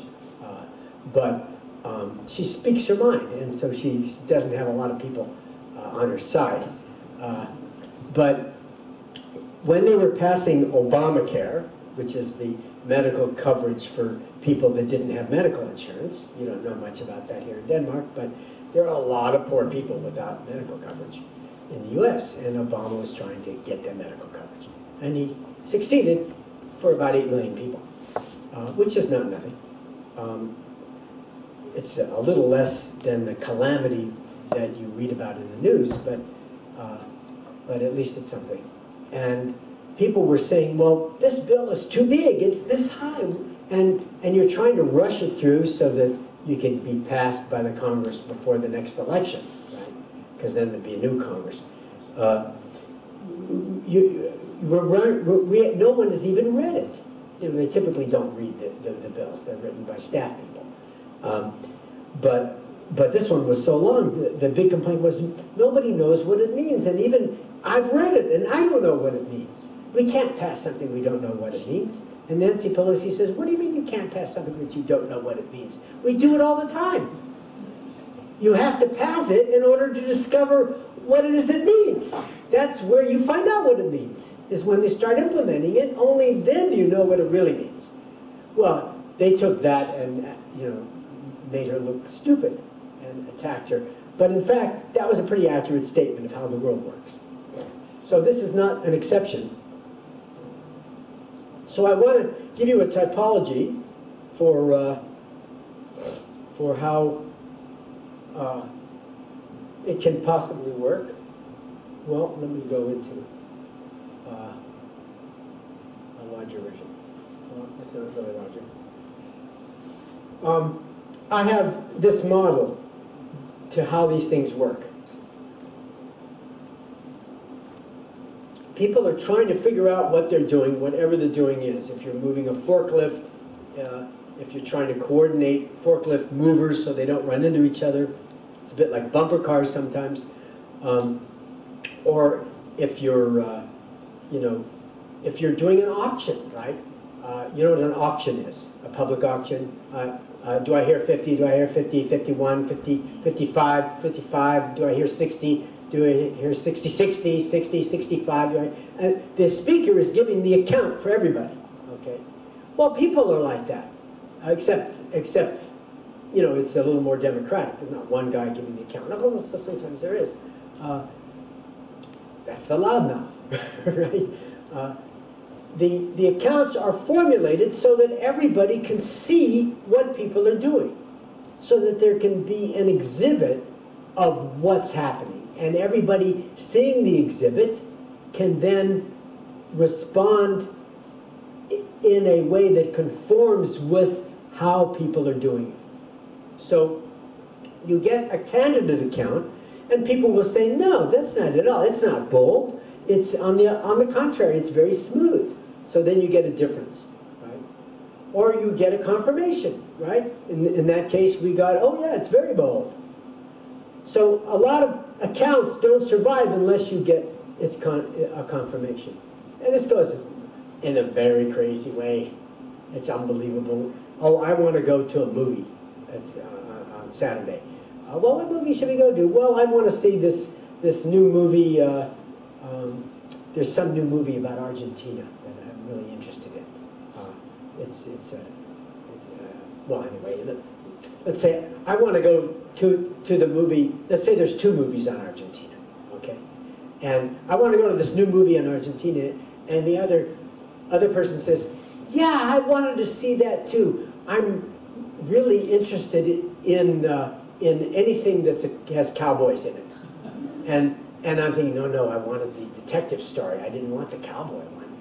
And I'm just about to correct the other person when the third person goes, uh, yeah, that's okay. Uh, so you have the first person making an, a suggestion, and the second person uh, confirming it, and the third person confirming the confirmation. Except that that the first person knows that that that movie was not the movie that they meant. And in fact, that person really didn't want, want to go to that uh, Argentine cowboy. They were wanting to go to a ro- romantic movie. But because the other person suggested it, they acted politely and said, yeah, I'd like to go to that too. And then the third person didn't have any idea at all, but figured that if the two people agreed, that they in fact would, uh, would go along, okay? Uh, that's okay, yeah. Uh, so the first person, just as the point that he was about to correct the second person's uh, comment, the third person jumps in with her agreement, and so the first person decides, oh, well, if those two have agreed, I should probably go along. So the result of it is they all agree. They use some coordination to come to an agreement about what movie they see, and they all end up going to a movie that none of them want to see, thinking that that's what everybody wants. That, that is how, this is a structure that people use for getting on the same page, but they get tangled in the circumstantiality, in the circumstantial details of the structure, and can't pull it apart in time to find out what they were really thinking. Anyway, so you get these accounts, you get uh, these confirmations, and then it's not enough that you just confirm it, as I said, you need three people before you can reach truth. You get an, a point at which the, the agreement becomes an object that stands like a Durkheimian social object for everybody. That, oh yeah, we all agree, you know, um, the coffee's bold. Uh, and, and nobody who, who disagrees would dare voice that disagreement. Or they prefer not to voice the disagreement because it stands as almost a matter of fact by the point it's objectivated. So I'm very interested, this is actually a term that Husserl developed that was extended by Alfred Schutz, the social phenomenologist, and his student Harold Garfinkel uses it in his dissertation. And I use it a lot as well because it's different than just a confirmed account. It's when the confirmed account starts to stand independently of the people who produce it. And in fact, they don't produce it because nobody produced that we're going to go to the Argentine cowboy. It just kind of produced itself. So Garfinkel says that events are self-organizing. People say, what are you talking about, Harold?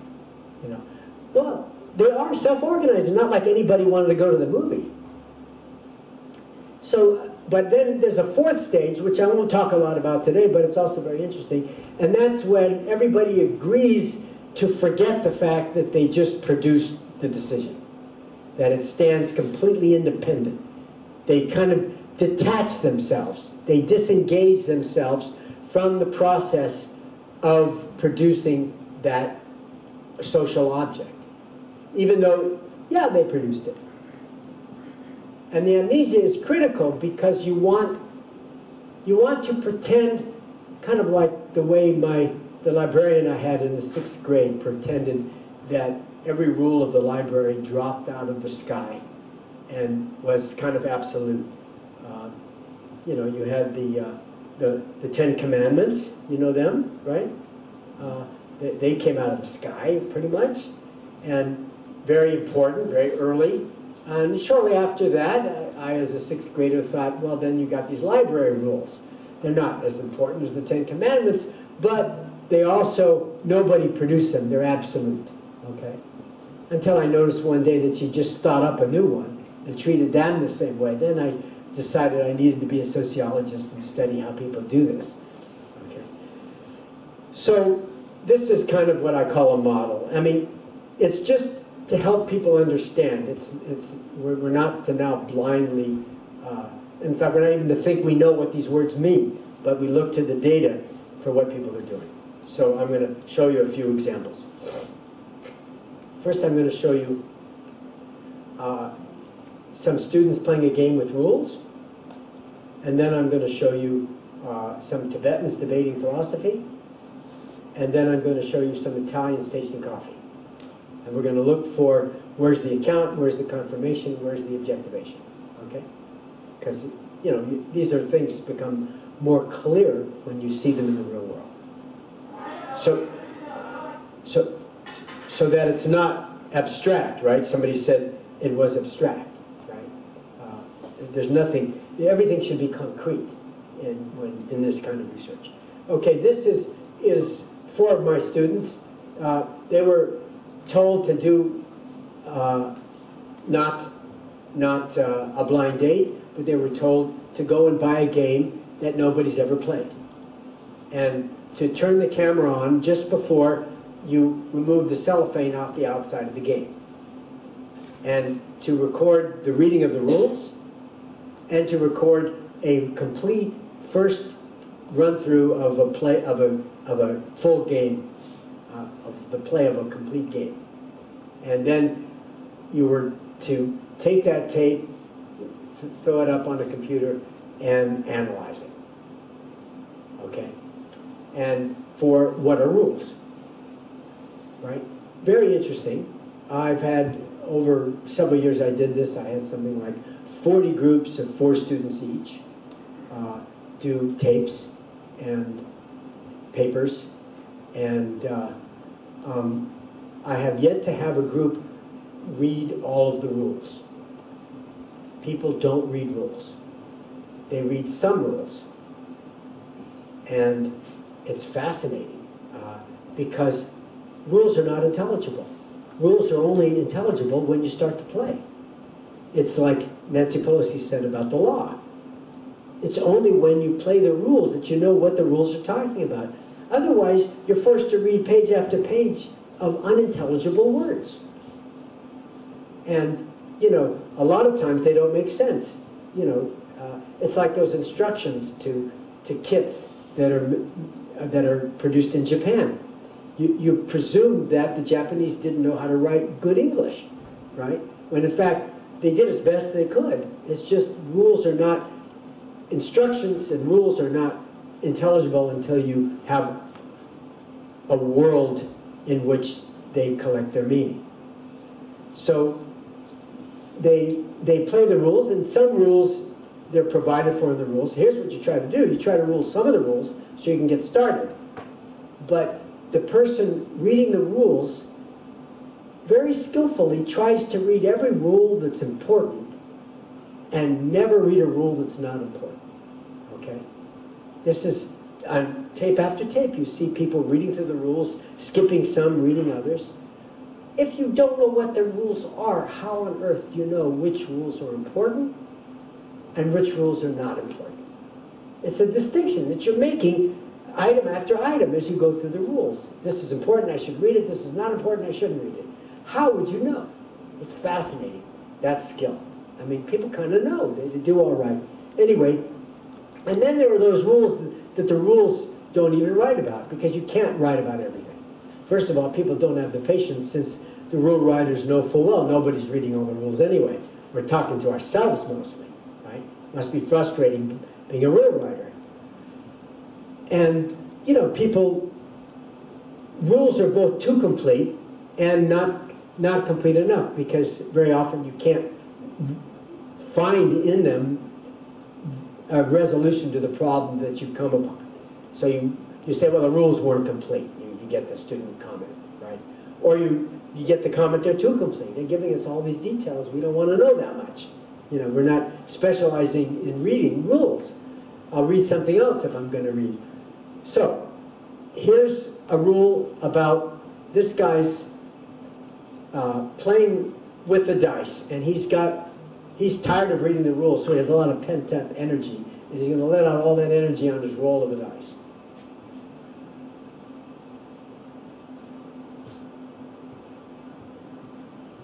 So she gives him in the, oh, here, let- let's go back. So his, he, he has a vigorous roll of the dice. So she's, she was a rule reader, one on the right, and she's wondering, what do we do if the die rolls on the floor? I mean, she's anticipating this guy is definitely doesn't have control of his rolling. So if it rolls off the table, will we take whatever it is? Or will we, I mean, very few rules will specify that, you know, it has to stay on the table. So that's for people to, to, to decide. And she's kind of like implying that it's, it's a problem. So he says, well, if it's offensive, right, it's like a candidate account that, well, we probably shouldn't count it if, if, it's, if it's offensive. And, but before he gets completed, she says re-roll. She formulates the account. She formulates what the rule will be. And then he hears her and he confirms her re-roll. So you got the account, which is really here, although it's kind of setting it up there, and then you get the confirmation there. And then he observed, because he's a student doing a project on rules, oh, but this one is interesting. This one we're, we're making up. It's not in the rule book. Oh, well, we don't have the, uh, the sound. Yeah, I think it's, it's a bit better with sound.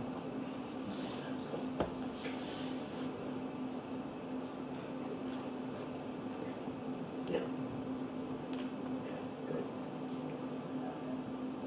What do you, let's see. House rules and regulation. So we're, making that up, though.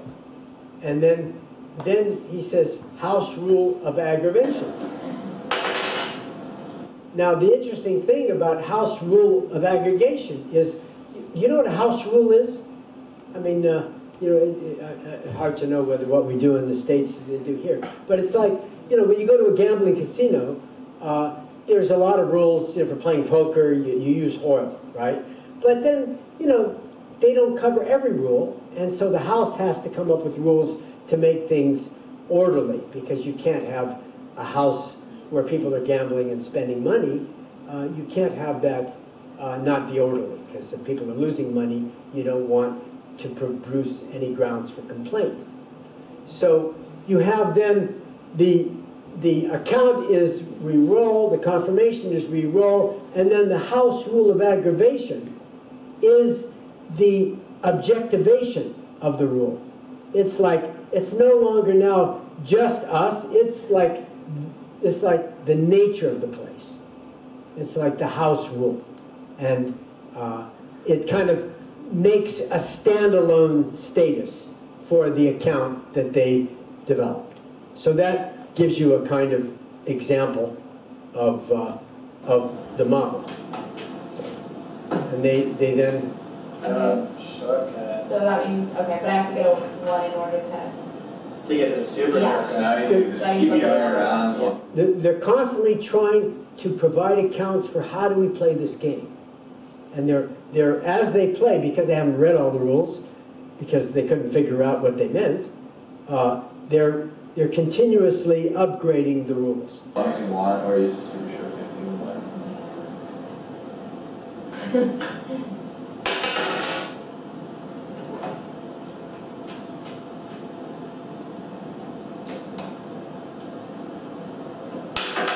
Oh, it's five. please say roll again. Oh, that's right. Yeah, You know, five is a good number, right? So, uh, so he, despite the fact that, that he just was participant in a rule, he violated it. And over the course of the game, they all tried to violate it. Or if they didn't try to violate it, at least they, they were very interested in what was it, you know? And if it it doesn't get a count, why would you be interested? Okay. 买呀，反正不定这个职业实践，主要是问题，当然是简单的你这么说买嘛，我这个单子你这么说一是，我这个单子你这么说我单位，让啥东西我说这么看。 Okay, these are Tibetan student monks. They're, they're at the graduate level, uh, and they are studying uh, um, epistemology, I guess you'd say. Um, and so the, there's a person standing up. The person standing up has to pose a question.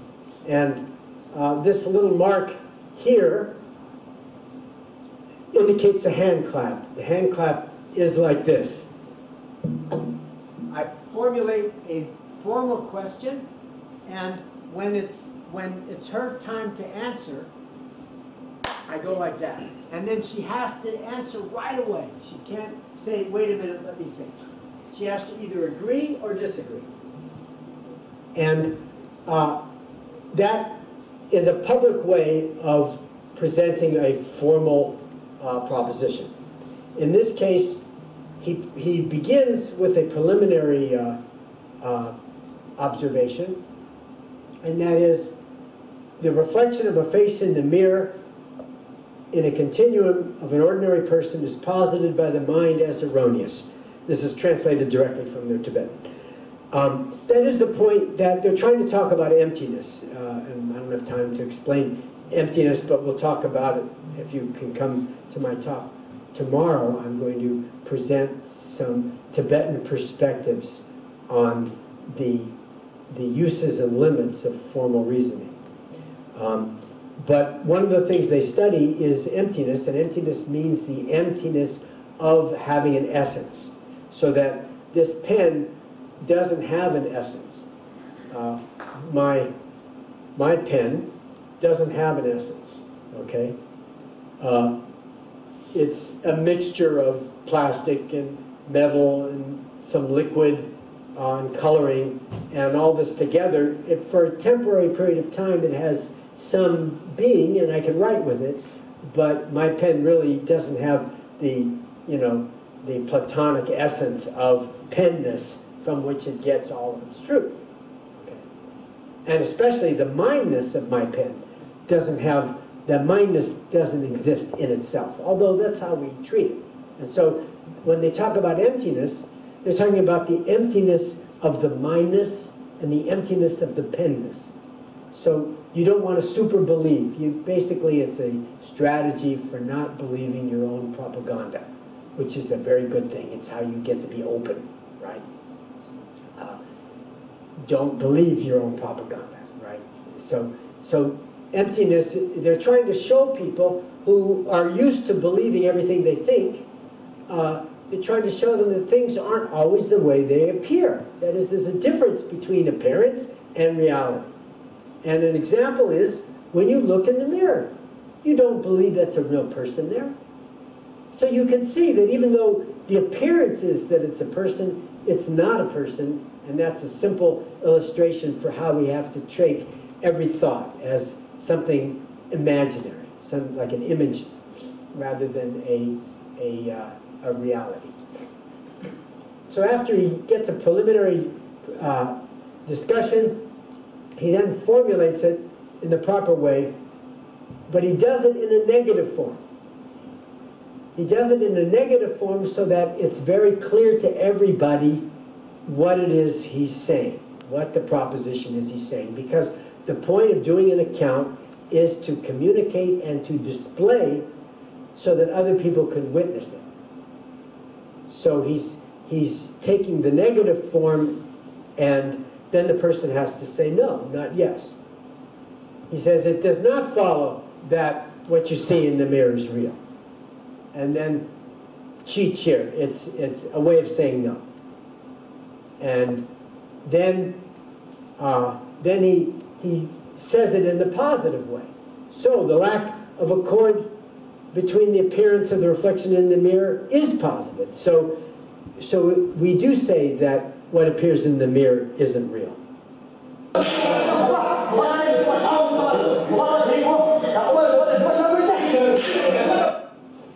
So he says yes. Okay, so then he's, he's given the account and you get the confirmation and you've done it in a way that anybody in the room can follow, which is very different than how we do uh, philosophical discussions in the West. I mean, in the West, they're very obscure. They're, they're like two ships passing in the night. If you go to like a forensic debate, you know, there's one side talking for eight minutes and another side talking for eight minutes. It sounds like they never heard each other. But here, they're forced to hear each other because they made it very clear. And then, having done that, he, he de develops it. And he takes that agreement and then, having achieved that accomplishment, uh, in the formal thinking, you then take that formal thinking that you're collaborating about together and you take it to the next stage. You make it more complicated and you keep inquiring into the nature of thinking by building up agreement by agreement what the problems of thinking are. Okay? So they are doing it in a in a in a public way, which means they have to understand each other, and they understand each other by offering accounts and confirming accounts, and then in very clever ways objectivating those accounts.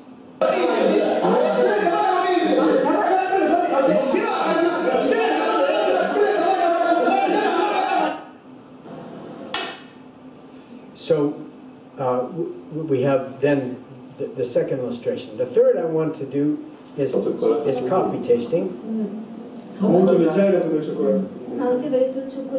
This takes place in Trento, Italy. Uh, and uh, she's saying it tastes a little to me like dark chocolate, chocolate fondente. Sì, sì, sì, positivo, negativo, non lo so. Positivo, positivo. A me ricorda una raccia, l'arachide, She says, for me it tastes a little like peanuts. Okay. il sapore dell'arachide. Quindi sempre un seme olioso. Sì, He said, oh, let's say it's, it's like an oily seed.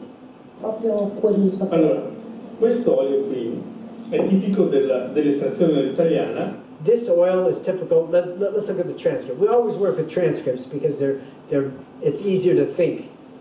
Uh, and when we do our analyses, uh, here's, here's the clue. You want a videotape, but you don't want to just watch the videotape. You want a transcript, but you don't only want to read the transcript. You want to read the transcript while listening to the video or audio. And you want to do that many times until you know what they're thinking better than they know. And for some reason, if you don't have the transcript, you can't see as much. And if you have just the transcript, you tend to invent things that aren't there. And so the, the video will ground you into not going too far with your interpreting. Um, it's kind of like the electron microscope for ethnomethodology, using transcripts with videos or audios. So here, let's look at the transcript. He, she says, chocolate fondente. Uh, it's dark chocolate. And that's a candidate account. That is, she says it, even you can hear in the tone of voice, it's like putting up for other people's opinion. It's not, I'm definite, it's, it's chocolate. Chocolate, it's chocolate fondente. Because, of course, she's afraid of looking stupid. And this guy who's standing up is, uh, is the owner and roaster of this very fancy cafe. It's not fancy so much as really quality. You get really good coffee that he's blended himself and roasted himself, and he's very proud of every one of his blends. And so she's a little worried that if she doesn't say the right thing, he's going to come down on her head. So that's this gets filed under she doesn't want to look stupid. Okay, so she says it a little tentatively. Dark chocolate. Okay, and then the second one goes chocolate, chocolate, chocolate. Okay, so she gets the confirmation. So you get the agreement and the confirmation. Mm, I don't think he's too happy about that. Uh, the, the, at least I think probably in designing this blend and roasting it, he didn't wasn't going for dark chocolate as the flavor. And he said, "Oh, very light tasting, like dark chocolate," being sarcastic. And and then and then she, he says, "No, because I also said chocolate." It's like two people independently agree that it's chocolate. So even though maybe you're ridiculing uh, our assessment, we both agree it, it's it's got a chocolate to it. I mean, you got to just be objective. Uh, and then then he kind of compromises and says, positive or negative, I don't know. You know. And then she tries to save the day and says, oh, positivo, positivo. Oh, no, I mean that in a, in a good way. And she says also, for me, it recalls peanuts. Okay? Then, uh, then the, the, the other woman says, oh, yes, the, the taste of peanuts. Uh, uh, it's just sort of expanding it. And then he summarizes it, offering a summary account, therefore always an oily seed. He likes that part because he was trying to get a coffee that was very full of oils. That's how the Italians like their coffee. That's what produces the crema, right? And which is very different than, than the Italian coffee, very different than the Scandinavian coffee. I, I love the Scandinavian coffee. They roast light. Uh, and the light is, uh, you, you preserve more of the flavors, but you have to buy better beans, so it's a little more expensive way to do it. Anyway, uh, that, that's different lecture. um, so he's saying, therefore, an oily seed. He's trying to provide an account that everybody can agree on and that the people can use to describe in an objective way the coffee that each one has tasted. You know, maybe I don't agree with peanut, maybe I don't agree with chocolate, but definitely it's an oily seed. Okay. And then somebody says, yes, that's the very flavor there. So they confirm the summary account, and then he provides the next stage, which is what I'm calling objectivation, and that is, so then, this oil here and his tone, it goes from the tone of interaction to the tone of a professor, you know, telling everybody how it is. So then, this oil here is typical of the Italian extraction. Now, I can tell you as a researcher, uh, estrazione all'Italia, uh, all'italiana is, is a myth, right? I mean, the definitive, all identities are myths. I mean, that's maybe the bad news of the, of, of the lecture, right? I mean, we're studying identities. Uh, and George Herbert Mead, a different Mead, uh, studied how people construct their identities. And uh, you don't want to believe your identity. You, you need an identity or else you get lost and you develop what Durkheim called anomie, that is you no longer know just exactly who you are. Uh, so we want an identity. We have a good identity. We want people to, uh, to respect us, so we feed our identity. You can do a study of how you do that on Facebook. You know, not just one identity, you have four identities, right? Uh, so, so this work, this production that we've been talking about over here, of producing, you produce your identity. It's something that the Buddhists would say is also empty. How is my identity empty? What do you mean? I'm a, I'm a professor, you know? Uh, I'm a father, that's my identity. Uh, it's objective. Well, if there was no children, uh, let's say, let's say my son dies, am I still a father? Let's say I was, I didn't have any kids. Would I be a father then? My fatherhood is dependent on the child. It's not, I mean, when you're a child, you think the motherhood of your mother is independent, right? Certainly the grandmotherhood of my grandmother was independent. Look at all the grandchildren she had. She was grandmotherhoodness, you know, incarnate. But yet that was not in, in independently existing. So uh, in the same way, this notion, like Italian extraction, we develop these myths for each other, but these myths are helpful to collect talk, to collect ideas about flavor. And so they'll go on for half an hour talking about what is the Italian extraction. And then people will say, yes, this is another uh, typical Italian coffee. Uh, this is the normal, right, that, that we're trying to, to identify. Although, you know, normal is different everywhere. It, it, how did things get normal? I ask my students, uh, uh, raise your hand, every one of you who speaks with an accent, right? And you'll get, you know, a third of the class raising their hands, you know. Well, what did the other two-thirds, what are they speaking? Without an accent, right? I mean, so, so, but, but we produce these ideas, and then we believe these ideas. You can produce the ideas because they're handy for organizing normal behavior, and they're handy for collecting thoughts so you can build up like the Tibetans were doing but you should not believe that they're true. That's the point. And uh, that's where we go awry. We can use them, but have a very tentative hold of them. Be willing to let them go. And if you're able to let go your preconceptions, then the openness starts to happen. And you can discover new things. And that's, that's really tough. Uh, not believing your prejudices is really, really hard to do. Um, the, um, the, the, the uh, what's the time now? Okay. Um, well, um, I'll, I'll skip, I'll skip the last tape, which was going to show that final stage of, of social amnesia, where, uh, where the person was uh, was uh, treating things as apart from the production. Um, but that happens. Um, also, people get very tangled up in the details that are emerging. And they get so tangled up that they sometimes forget what it is that they were trying to do. Um, last month in Buenos Aires, I gave the students the task of going out and asking for directions and tape recording the directions. We had all these fabulous tapes of people asking for, how do I get to Lezama Park? Uh, you know, they, they were walking across town because they wanted to see part of the city.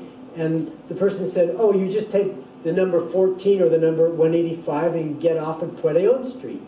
Well, they had no intention of taking the bus. Uh, uh, but, but then, then they started having a conversation about how will I know which street is Pueyrredón Street if I've never been on the bus before. Uh, and uh, they got this long, entangled conversation that they should have just said, we're only walking. But we tend to get caught up in the local details and the circumstantial details of every conversation. And every interaction has these local details that end up running the show so that we're not running the show so much as the local details are.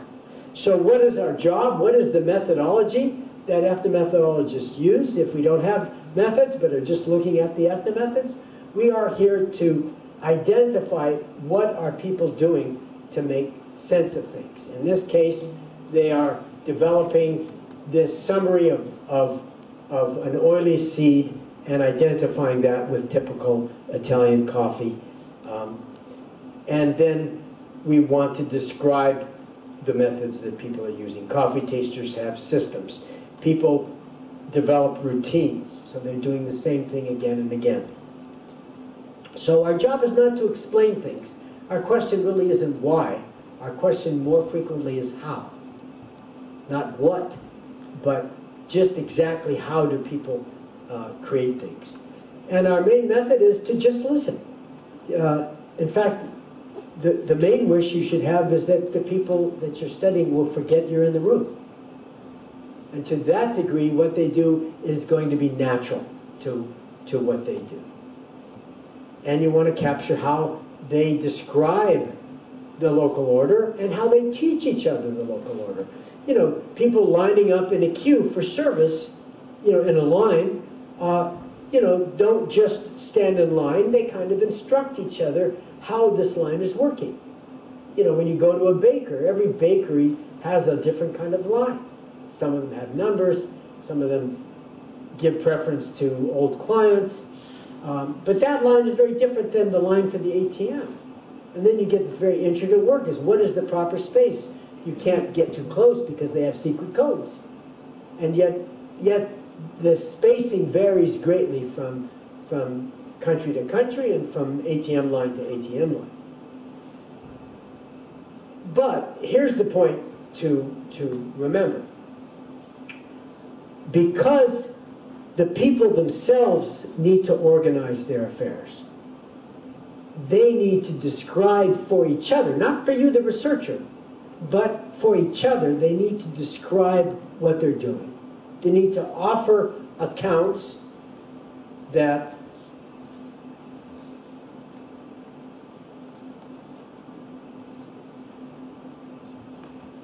they need to offer accounts that that inform each other what they have to do. What are the expectations? How do we all get along? Because they have to teach each other how the local situation is being organized. The, you, as the researcher, can learn how to do it too. You don't have to ask questions. Just capture the work that they're doing. Just capture the ethnomethods that they're doing because they don't know how to do things perfectly. So you go and you visit whatever research site that you're, you, you have, and you just wait for them to do whatever they would do naturally. And if you're videotaping it, you don't even have to understand it while they're doing it. You can understand it later. And at times, if you're completely confused, you can go and ask the people what it was they were doing. But because they don't know what they're doing a lot of the time, you may not get an answer. Uh, my Tibetan research, I, I did many hours of, of debates that I transcribed in Tibetan and translated into English, and I still couldn't figure out what they were doing. So I would ask the people who were debating, they were friends of mine also. I said, what is it you're, why are you giving this argument? Well, what were you trying to do? And they look at it with fascination. Everybody loves to look at themselves. Great way to do research, right? You get their cooperation. But they say, I don't have a clue what I was thinking. That's very confusing. So you don't always uh, succeed in asking people for help. Um, but you can figure out most of it if you can get a tape of naturally occurring interaction. Okay, that's as good as I know how to introduce what is ethnomethodology. So, questions. We have at least five minutes, Ten minutes. 10 minutes for questions. First we give you a hand.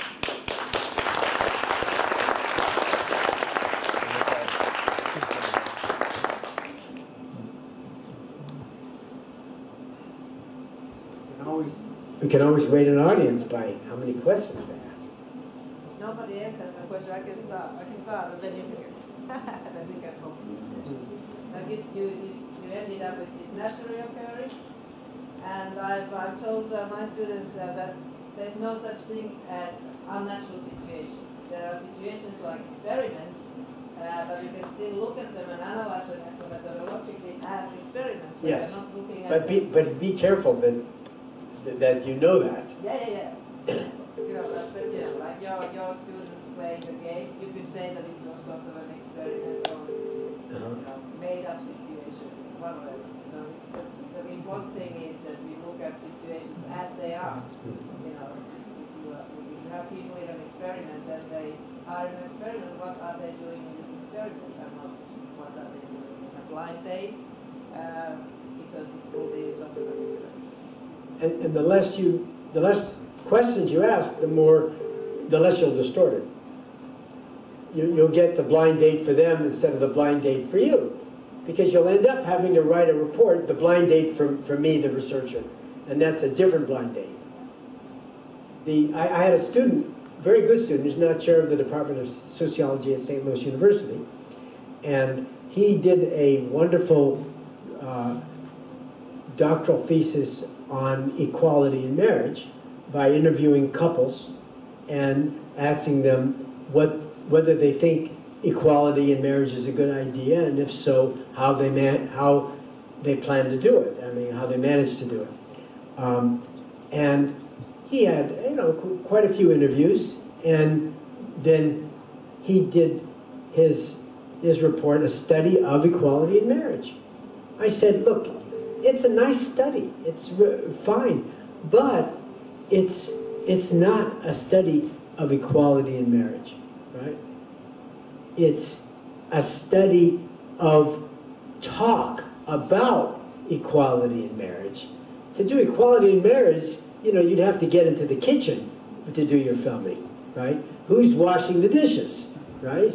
Or, or like Candy West did, you know, who's interrupting uh, during during the dinner conversation, you know? Uh, uh, That's what we call call me. No, no, no, the- it's, it's the video conference Oh. system, so Oh. we should just. Well, ignore uh, just in case, I'll close that. Um, so, uh, the, um,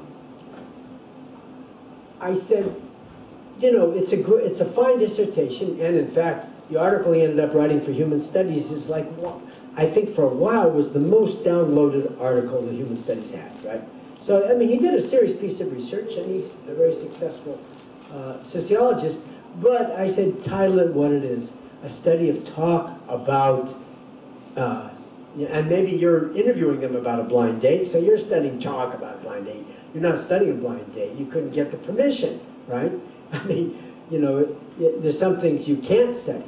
Um, but be very clear what you are studying, because people delude themselves. I mean, you're not doing a study of, uh, of you know, well, I mean, you could call it a fertility study, but if you don't know, uh, if you've never met a young woman, I mean, I don't know what you call that study.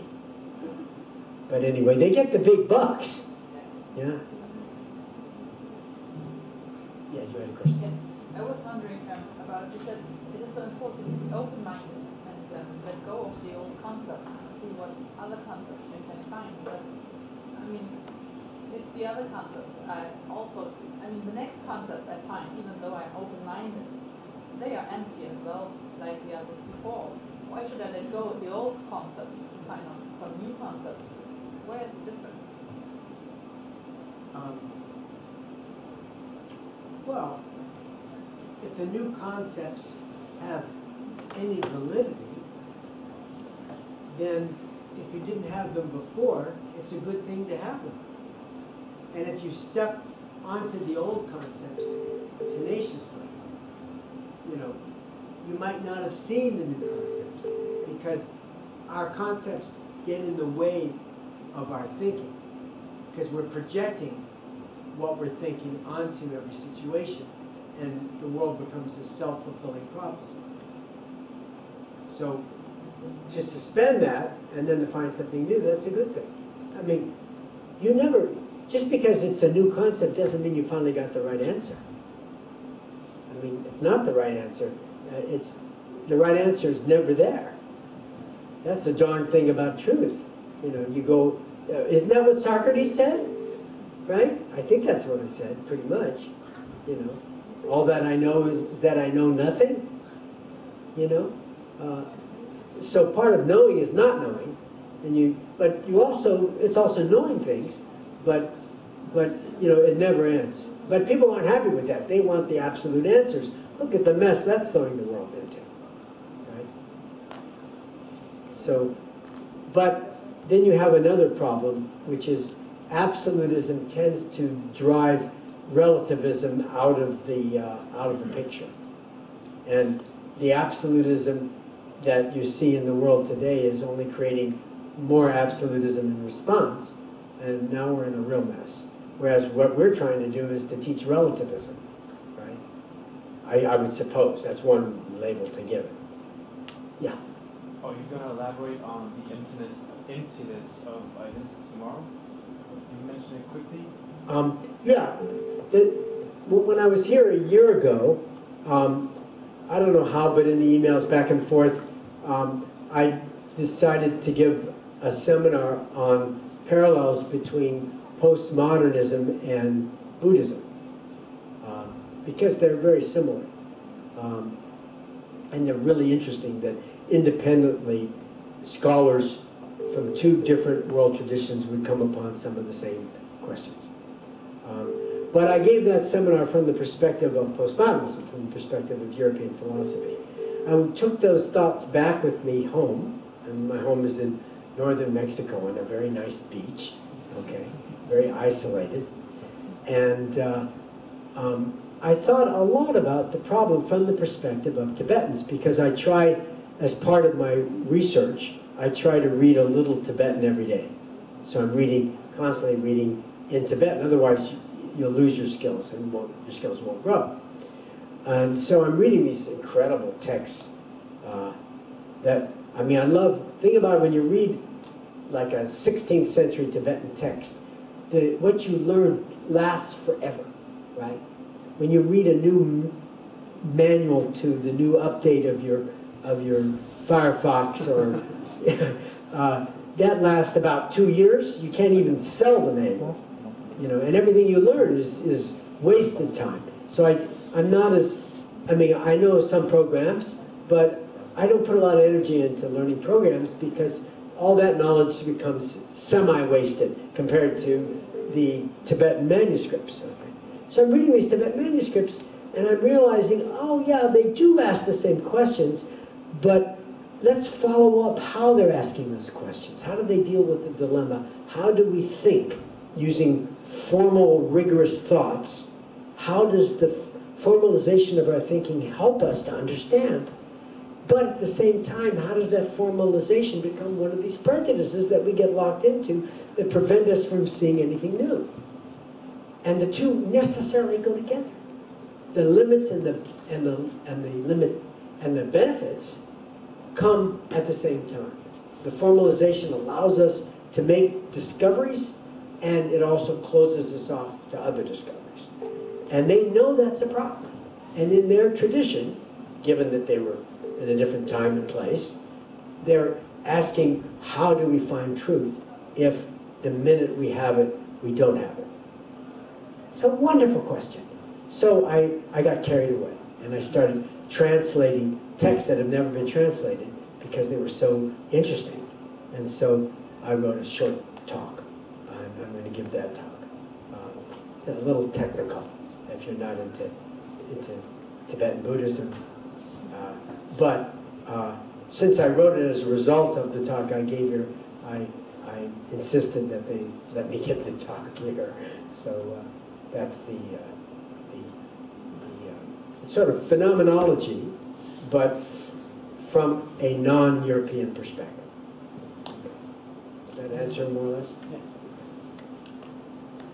Somebody has a question. Does anybody, are you interested in ever doing anything like this? Or does it sound too hard? Yeah. I think it would be an interesting path to take in life, but I think it's also very risky, and I'm not sure how I would go about it. Like going out and traveling into different cultures and just sitting there and experiencing it. Like Well, how you can I- do it in your own culture. Huh? You can do it in your own culture. You don't have to travel to different cultures. There's a lot of practices that people do. But wouldn't I be sort of biased by li- having lived in my own culture? Well, it is, one of the reasons I took the Tibetans to study logic was I didn't have as many biases with them as I would have had uh, here. Yeah, it's a problem, but it's not insurmountable. Um, The, here's the, here's the real hard thing. The going out part. When you go out and find a new research setting, it's the scariest thing. I mean, I'm, I'm approaching coffee firms and coffee tasters who are part of my culture, and I know how to get along with them. And since a lot of people in the coffee business were juvenile delinquents at one point, uh, you know, they're kind of easy to get along with, right? Um, you know, it's not like wine tasters. That's, that, that I didn't do because, you know, you know I, I have a hard time, uh, you know, dressing up for, for the part.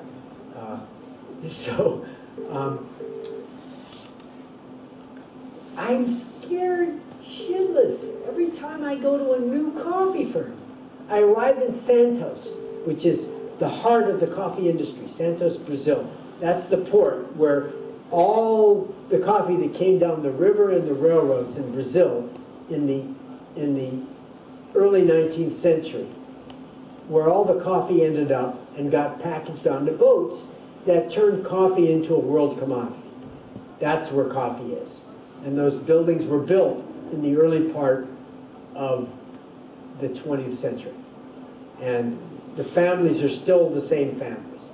And I was scared to death. How do I even call them up? I mean, you can see my hand tremble, and I'm an outgoing guy, right? People who are not outgoing, I mean, they can't even do the work. Uh, but as it turned out, uh, they were great guys. They said, come on in, we'll show you everything. And it turned out because Santos is on the beach, a lot of them were surfers. And I ran into them surfing, and then they said, oh, great, I, I didn't know you surfed. Yeah, well, uh, why don't you come by again tomorrow? You know, we'll, show you some new coffees, right, some new blends. Uh, so, you know, it turned out I spent a month of some of the best coffee research I've ever done. And I almost didn't go. I was so paralyzed by fear. Why? Because when you go out and do field work, you are scared that the people are going to reject you. It's kind of scary to put yourself out to people I don't even know them, right? I once gave my students the task of, of interviewing non-Western students on campus for their views of their education at the University of Oregon. Non-Western students. I meant uh, people from Asia, Africa. Um, I had a student walk up, he said, how do you expect me to go that? Go up to, to, to complete stranger from the East Coast and ask them uh, to, to do a conversation? You know, I mean, completely missing right? Um, on the other hand, when I went to, uh, to the Aborigines, I remember uh, the night camping, because it was a two-day car ride to where the Aborigines were living, I was just so, I couldn't sleep. You know, will these Aborigines, they don't want to be researched. They don't want white people around. You know, well, how are they going to, to take me? Will they like me? Well, it turned out most people are nice. You know, that's the good thing. I discovered that long ago. Yes? How long do you stay at the places? How Like, how long do you stay at the places? You know? That's an excellent question. Um, you stay until the data that you're getting becomes so repetitive that you can predict it yourself and you start to get bored. Then you have enough. But as long as you're learning something new, you owe it, and you don't have an answer in time that's good for all. Every research situation requires a different length of time because you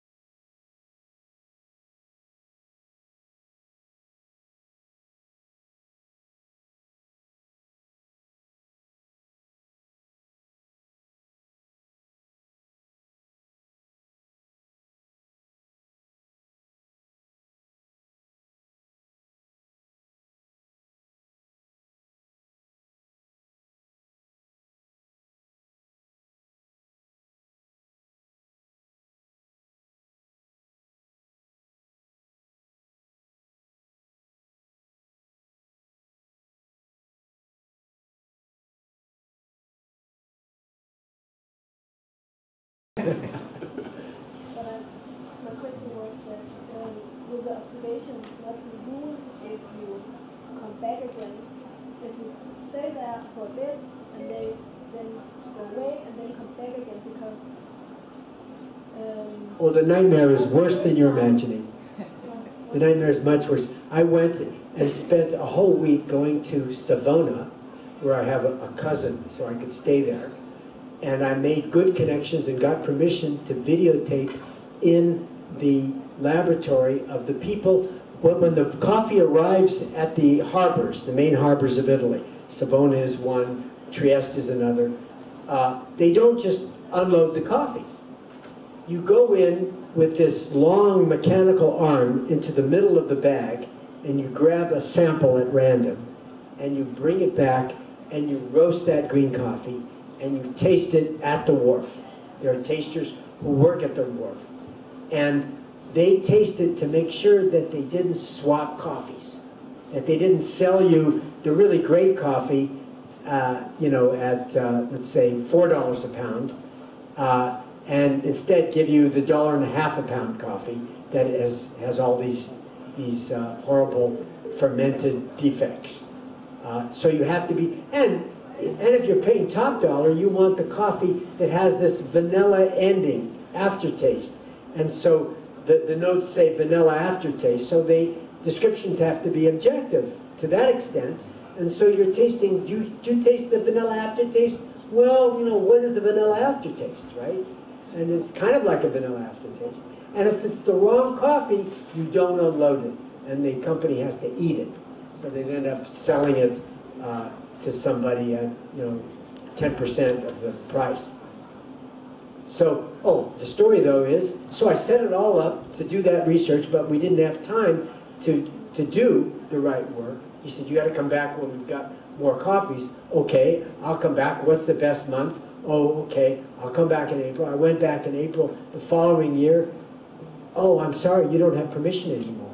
The management has changed. We have new management. You have to get new permission. And so I called up. He said, what? Somebody, sociologist wants to research this? No, we're not going to do that. Because all my connections had retired.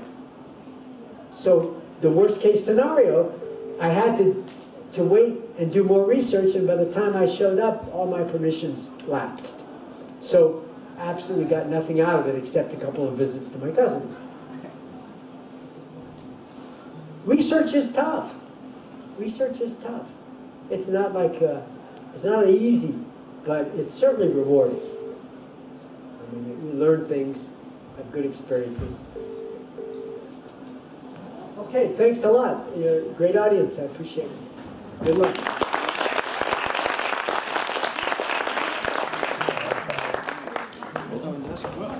Thank you, Ken, and, and we hope that your, your, you know, when you uh, publish about these thoughts, you have uh, sort of, uh, you are developing because you visited Aalborg, you call them all the Aalborg lectures.